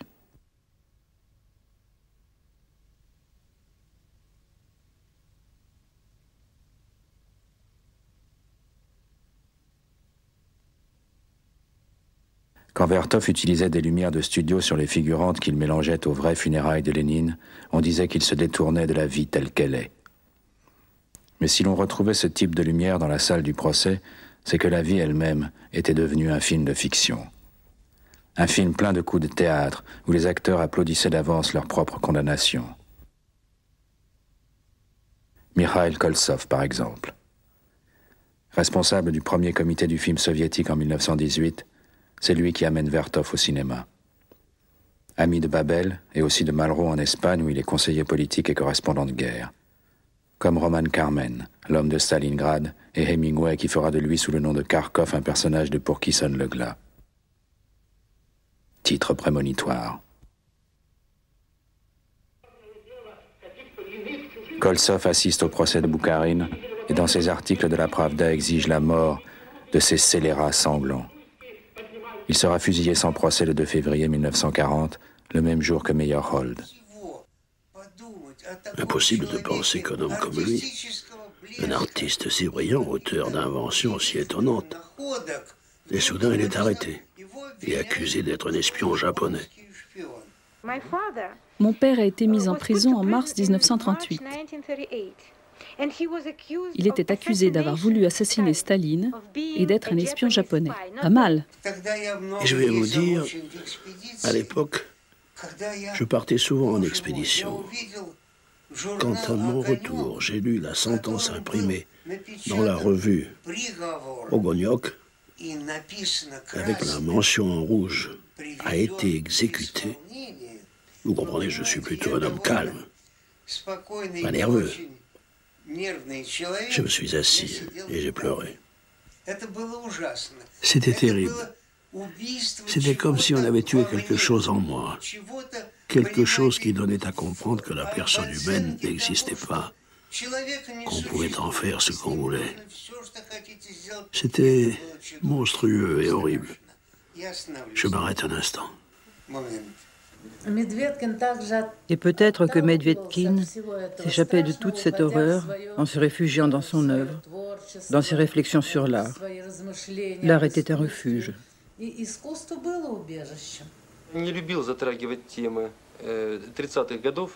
Il n'aimait pas aborder le thème des années 30. Il reconnaissait que ça avait été terrible, cruel, intolérable et injuste, mais il n'aimait pas en parler. Il me semble qu'au début, il a cru que c'était des ennemis du peuple. Il a cru complètement à la politique du parti.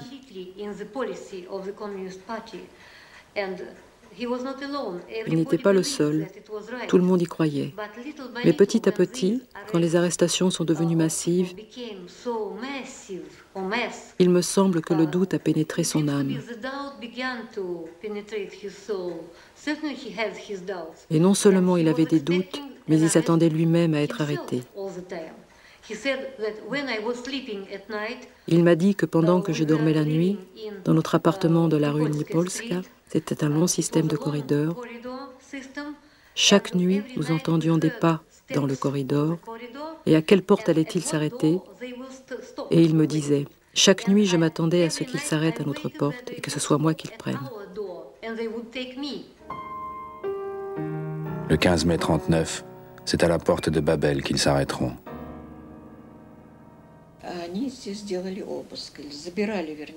Ils ont perquisitionné plus exactement, ils ont pris tous ces manuscrits. Je n'ai pas vu comment ça s'est passé.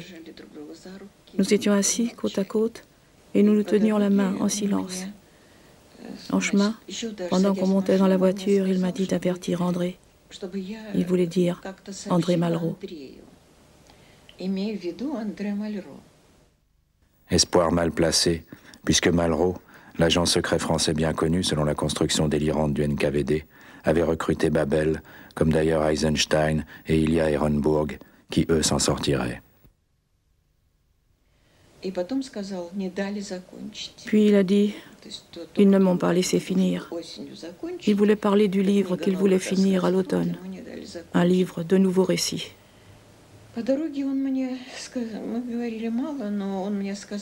Nous avons peu parlé pendant le voyage, mais il m'a dit, je vous le demande instamment, que la petite ne manque de rien. Lydia, notre petite fille, avait un peu plus de deux ans. J'ai dit, oui, mais je ne sais pas ce qui m'attend, parce que je savais bien qu'on arrêtait aussi les épouses. Alors celui qui était assis à côté de Babel a dit, nous n'avons rien contre vous. Nous sommes arrivés au grand bâtiment de la Loubianka. Babel m'a embrassé très fort. Il a dit Nous nous reverrons un jour. Il est descendu de voiture et s'est dirigé vers cette porte gardée par deux sentinelles. On lui a ouvert la porte et il a disparu. Moi, on m'a raccompagné chez moi, à l'appartement de Moscou. J'ai demandé si je pouvais aller au travail. Ceux qui étaient restés là m'ont dit, bien sûr. Je me suis changée et je suis partie au travail. Babel sera fusillé dix mois plus tard.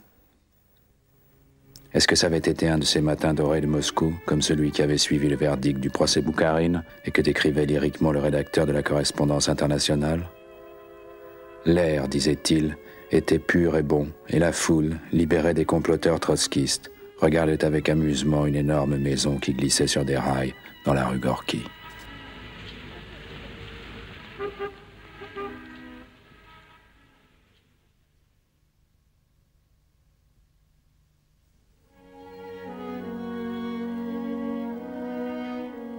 En septembre 1940, dans une école des environs de Moscou, un garçon et une fille de 16 ans avaient commandé pour leur ciné-club un célèbre film anti-nazi, Le professeur Mamlok.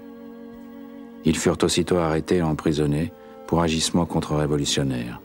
Une semaine plus tôt avait été signé le pacte germano-soviétique.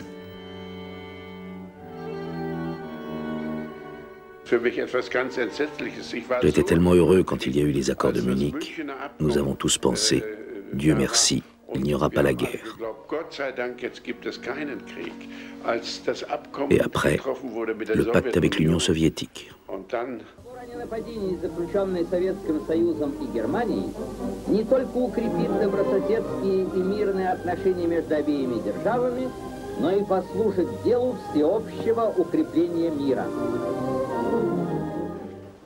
Nous sommes tous demandés où allons-nous.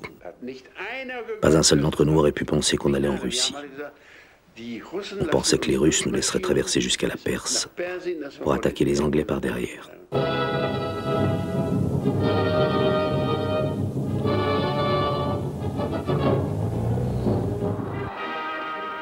Était-ce si étonnant de retrouver sur les actualités allemandes la musique des dieux du stade de 1936, cette répétition générale.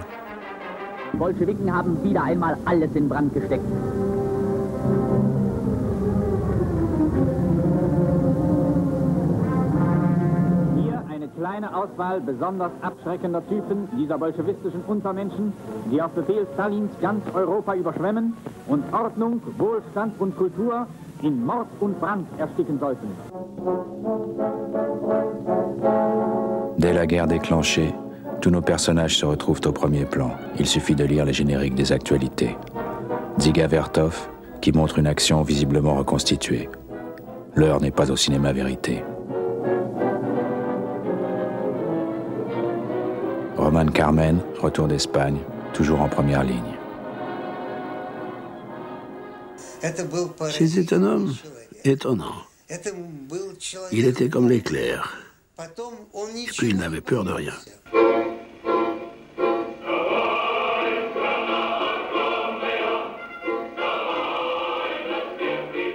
On repère le nom de Miet Vietkin sur une de ces bandes musicales destinées à l'entretien du moral de la population. Il s'arrange quand même pour y placer ses vaches.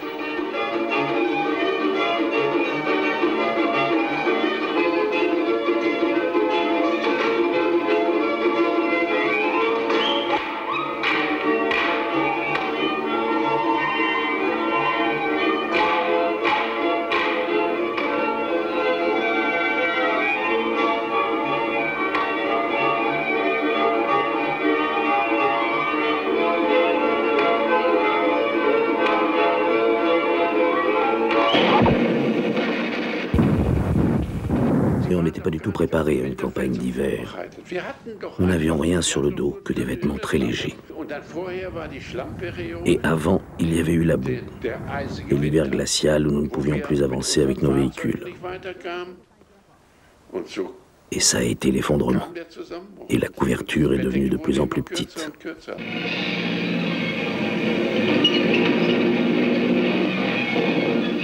Vache широким просторам Белоруссии идет стремительный, неудержимый вал советского наступления. Medvedkin est vite en première ligne lui aussi. À la reprise de Minsk, on le voit au travail avec ses équipes. С передовыми частями в город вошел наш кинооператор.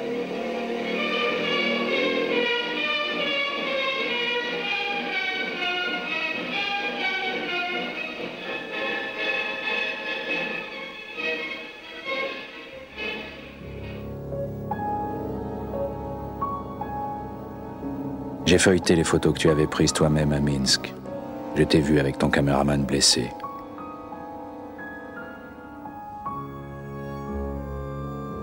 Mais il fallait bien que tu inventes une façon inédite de filmer la guerre, et l'image du pêcheur chinois allait réapparaître sur fond de bataille. Car cette fois, c'est aux soldats que tu apprendrais à pêcher.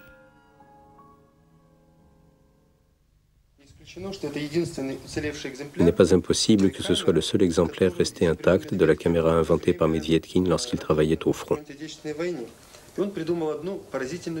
Il avait eu une idée surprenante. Il lui fallait des soldats qui accepteraient d'être caméramen. Il décida de recruter des volontaires, mais dans des bataillons disciplinaires.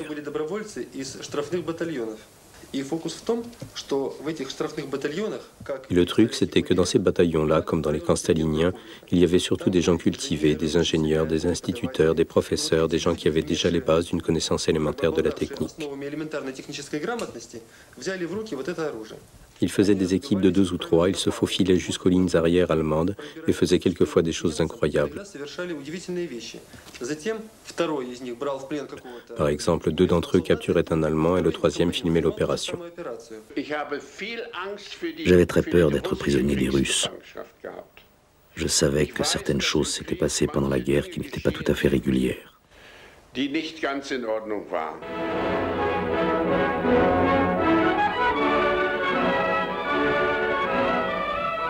Le film s'appelait Terre libérée.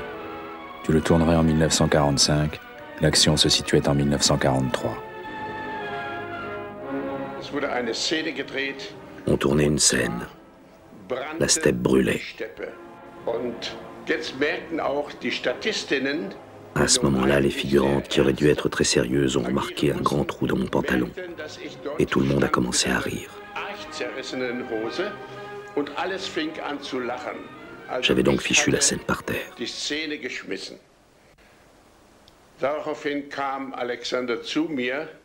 Alexandre est venu vers moi et quand il a vu combien j'étais affecté, il a mis son bras autour de mon épaule et il m'a dit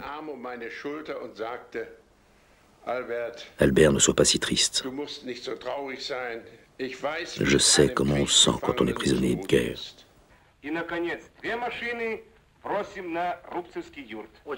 Car dans ce film, tu jouais toi-même un rôle avec moustache. Le jeune prisonnier de guerre, Albert Schulte, avait été engagé comme machiniste et deviendrait ton ami pour la vie. Quand j'étais là, il était si heureux, il me tenait la main. Albert, il y a 42 ans que nous sommes amis. Il faut que ça dure jusqu'à la fin de nos jours. Ça n'était pas du blabla. Ça venait de là. Et je vous le dis très sincèrement, quand j'ai appris sa mort, j'ai pleuré.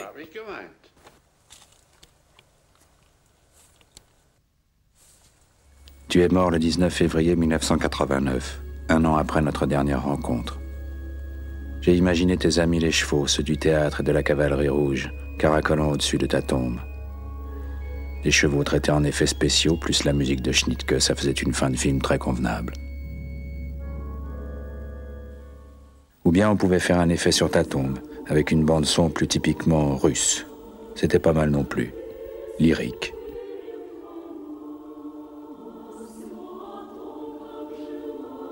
Mais ce lyrisme-là, lui aussi, était mort.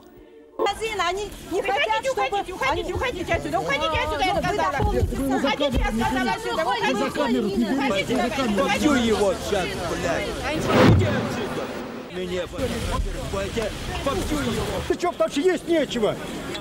Вы а мы нахапали. Вы отрезвитесь сначала. Я не пью, крыса ты подлая.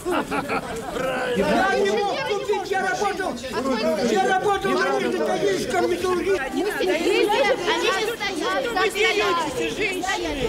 Ну как вам не стыдно? Бабульки, вы очень очередь просите, в очередь, не деретесь. Развалить страну очень просто. Это нужно голову иметь. За пять лет развалить страну. I think that he died in time. Je crois qu'il est mort à temps. C'est cruel à dire, mais je crois que j'ai raison. C'était un vrai croyant, et quand la perestroïka a commencé, il était si heureux. Il y avait un programme à la télévision, Projecteur Perestroïka, et il disait, vous voyez, c'est inspiré par mes films. C'est comme mon ciné-train. Ils essaient d'améliorer la vie. C'est ce que je voulais faire au début des années 30. Il était heureux. Je crois qu'il aurait un choc en voyant tout ce qui se passe maintenant dans le pays. Il serait terriblement déçu par le parti auquel il avait dédié toute sa vie. Ce serait un choc terrible pour lui.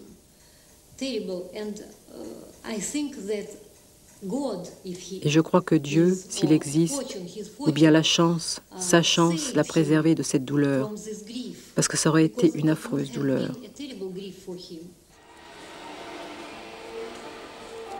En août 1991, une exposition sur la guerre d'Afghanistan s'ouvrait à Moscou. Des films exposaient l'horreur de cette guerre cachée.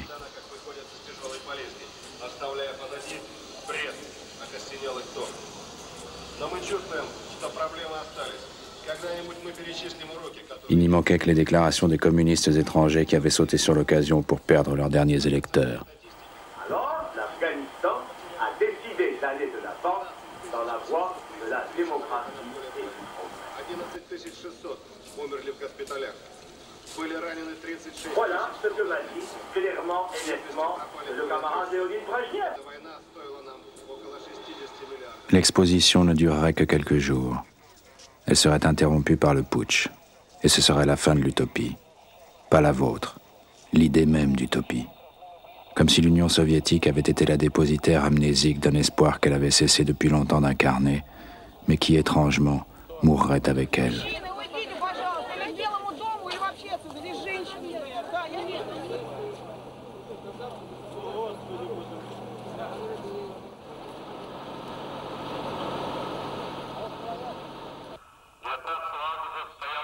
Encore quelques heures, et c'en serait fini de la tyrannie, et par la même occasion de la dissidence.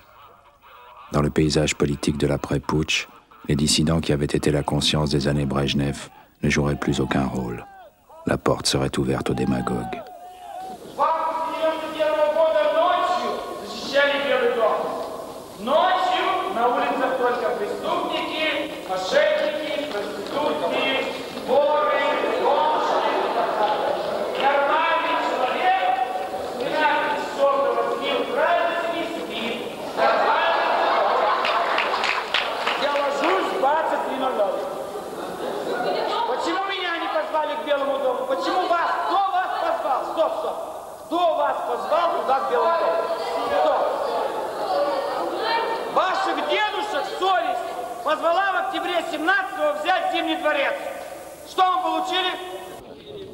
Ici, Jirinovski touche plus juste qu'il ne le croit lui-même. Ce qui finissait là, c'était ce qui avait commencé dans la neige de Petrograd en octobre 17, mais cette fois sans insurrection, sans tapage et seulement quelques morts accidentelles.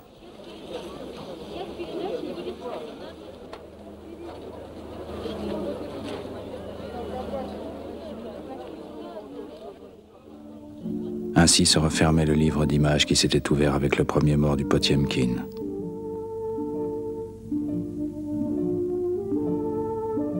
Avec les statues d'octobre. Avec les parachutistes d'Aérograd, métaphore de cette génération qui s'était jetée dans le vide sans avoir appris à sauter.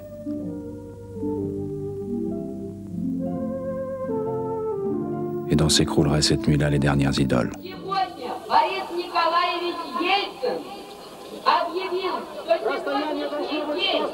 40 метров по периметру.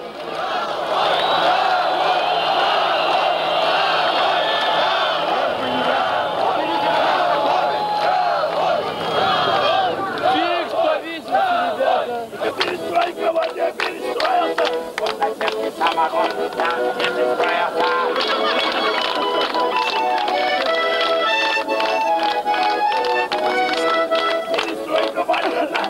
Sősödnek játszannak, én a sárgát játszannak, helyelősé volt a színet.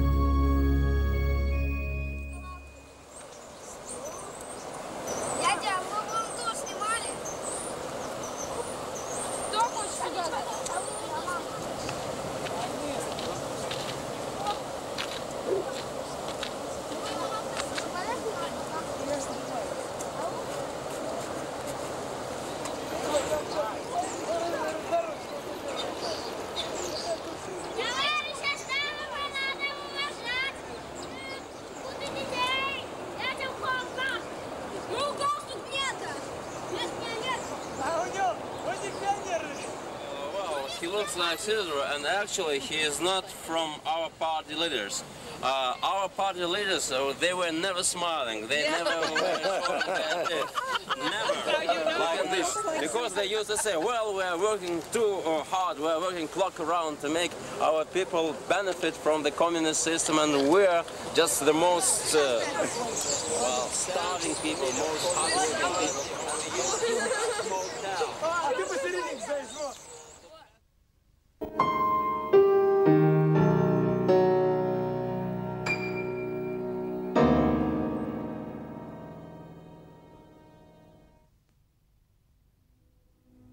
me souviens d'un lutteur masqué à Mexico en 1953 qui s'était baptisé le médecin assassin.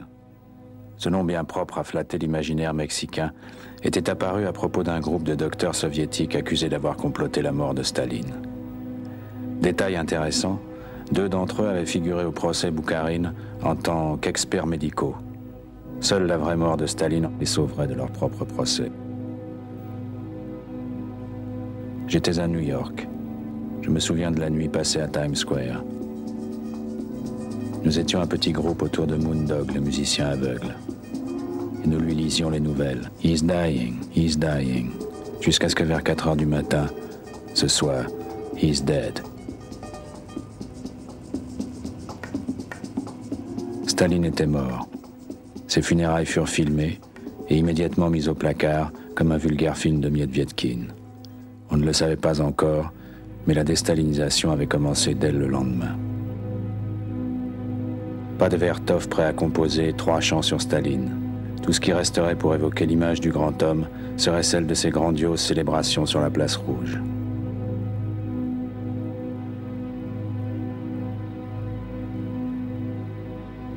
Et c'est là que m'attendait une surprise. Peut-être la plus grande surprise de ce voyage dans le temps qui n'en avait pas manqué. Le film s'appelait Jeunesse florissante. Et le nom du réalisateur, c'était Alexandre Ivanovich Medvedkin. Je crois que la vie a commencé à l'influencer et qu'il a voulu trouver sa place dans le système.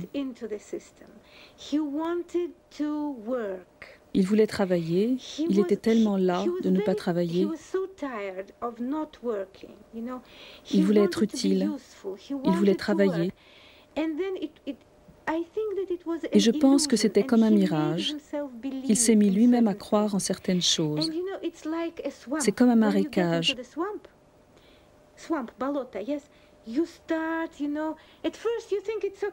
Au début, on pense que tout va bien, et puis on enfonce de plus en plus, et après...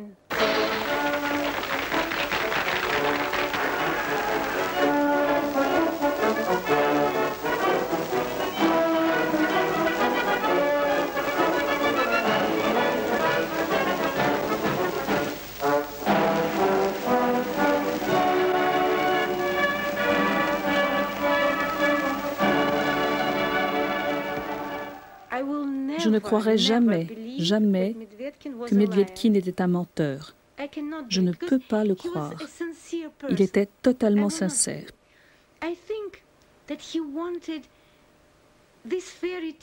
Je crois qu'il désirait ce conte de fées aussi ardemment que ces gens du Kouban avec le film de Piriev. Les gens avaient besoin de ça. Et je peux vous donner mon propre exemple. J'étais une jeune fille et j'allais au défilé du 7 novembre et du 1er mai tous les ans.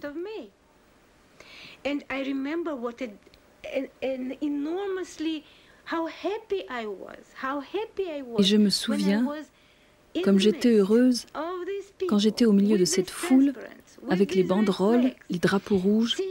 Je voyais Staline en haut du mausolée J'étais la personne la plus heureuse du monde. J'étais là. C'était le sentiment d'appartenir à une grande nation, à un peuple vainqueur, un peuple qui est en train de remporter des victoires, de créer quelque chose. C'était tellement important. J'étais heureuse d'être là-dedans. Et je suis sûre que Medvedkin, en faisant ce film, ressentait la même chose.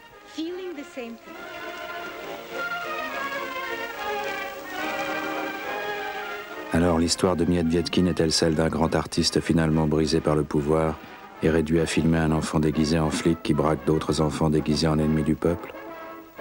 Comme toujours, les pièces du puzzle Vietkin n'étaient pas si faciles à assembler.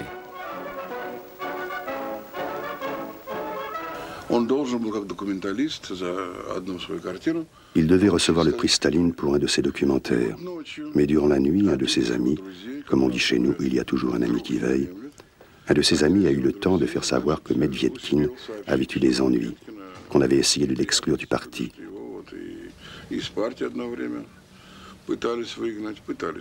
Il avait des divergences, qu'il votait très souvent contre le comité de district et qu'il claquait la porte à tout propos. C'était moins une. On le photographie, on lui dit de lire le journal du lendemain. Et le lendemain, il ouvre le journal. Rien du tout, ni photo, ni prix. Il faut bien dire que certains de tes films d'après-guerre ressemblent dangereusement aux Cosaques du Kouban avec de ci de là une pointe de nostalgie de ton film fétiche, le bonheur, et toujours quand même la touche Miedvietkin.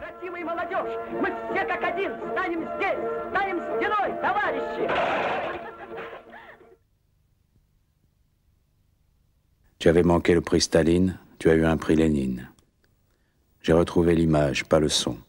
Mais comme j'avais de toi un son sans image, j'aime penser que c'est cela que tu aurais dit. Нет таких поколений, как наше поколение. Чтобы понять, чтобы рассказать о том, что это такое, нужно очень такое, как в астрономии есть понятие черной звезды. Это когда звезда, решаясь в масштабах, превращается в кубический сантиметр и весит миллионы тонн.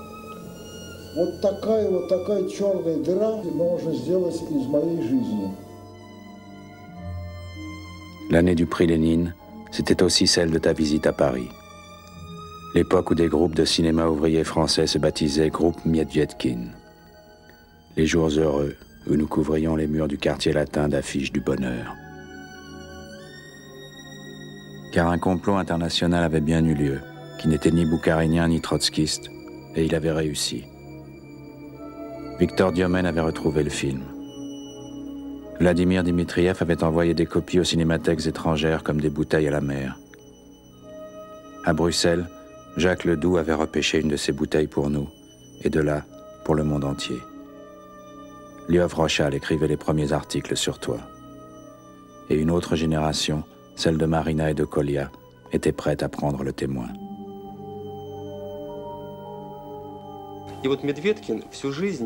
Toute sa vie, Medvedkin a défendu avec constance les convictions qu'il s'était forgées dans les années 20.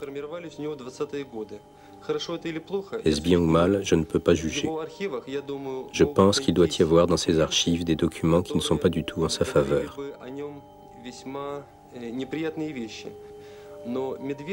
Mais il ne mentait jamais, ni aux autres, ni à lui-même. Et s'il a fait des choses qui aujourd'hui peuvent sembler, même à moi, politiquement dommageables, c'est encore uniquement parce qu'il était fidèle à lui-même.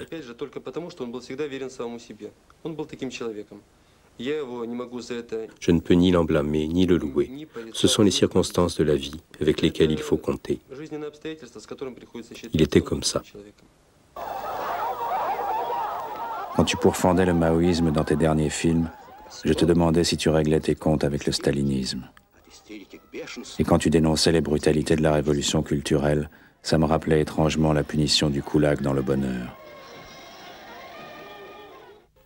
Mais s'il fallait illustrer par un film la dualité dans laquelle tu avais fini par te piéger, ce serait ton film Testament, chronique anxieuse. Encore une fois incompris. Tu militais pour l'écologie 15 ans avant tout le monde, et en même temps, Воля Ленинской партии сплотила этих людей в монолитную армию, которой верена и защита природы. Принимая меры для ускорения научно-технического прогресса, необходимо сделать все, чтобы он сочетался с хозяйским отношением к природным ресурсам. J'imagine ce qu'en penserait un caméraman de Tchernobyl. И мы видим, что эти люди знали тогда весь ужас, всю трагедию, которая произошла. Ces gens savaient alors toute l'horreur, toute la tragédie. И то, что те тексты, которые Et ce qu'on nous racontait à la télé et les textes qu'on mettait sur nos images vidéo, celles des autres et les miennes, ces textes sont un terrifiant mensonge.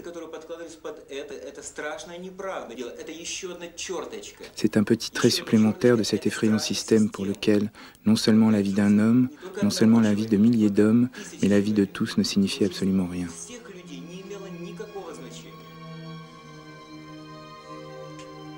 Et voilà le bilan, dressé par un garçon qui a juste l'âge qu'avait ton camarade Tolchan quand il commençait de travailler avec Ziga Vertov et qui ne regardera jamais plus l'image avec la même innocence.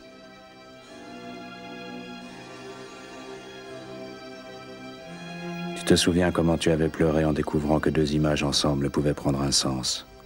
Aujourd'hui, la télévision inonde le monde entier d'images dépourvues de sens et plus personne ne pleure.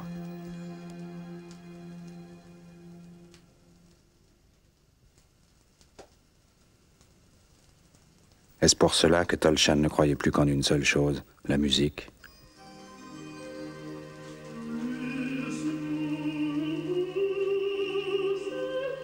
À la fin de notre entretien, il m'avait demandé de rester un moment avec lui à écouter sa musique préférée. C'était sa version du trou noir. Toute l'époque concentrée dans une vie, toute une vie concentrée dans quelques notes.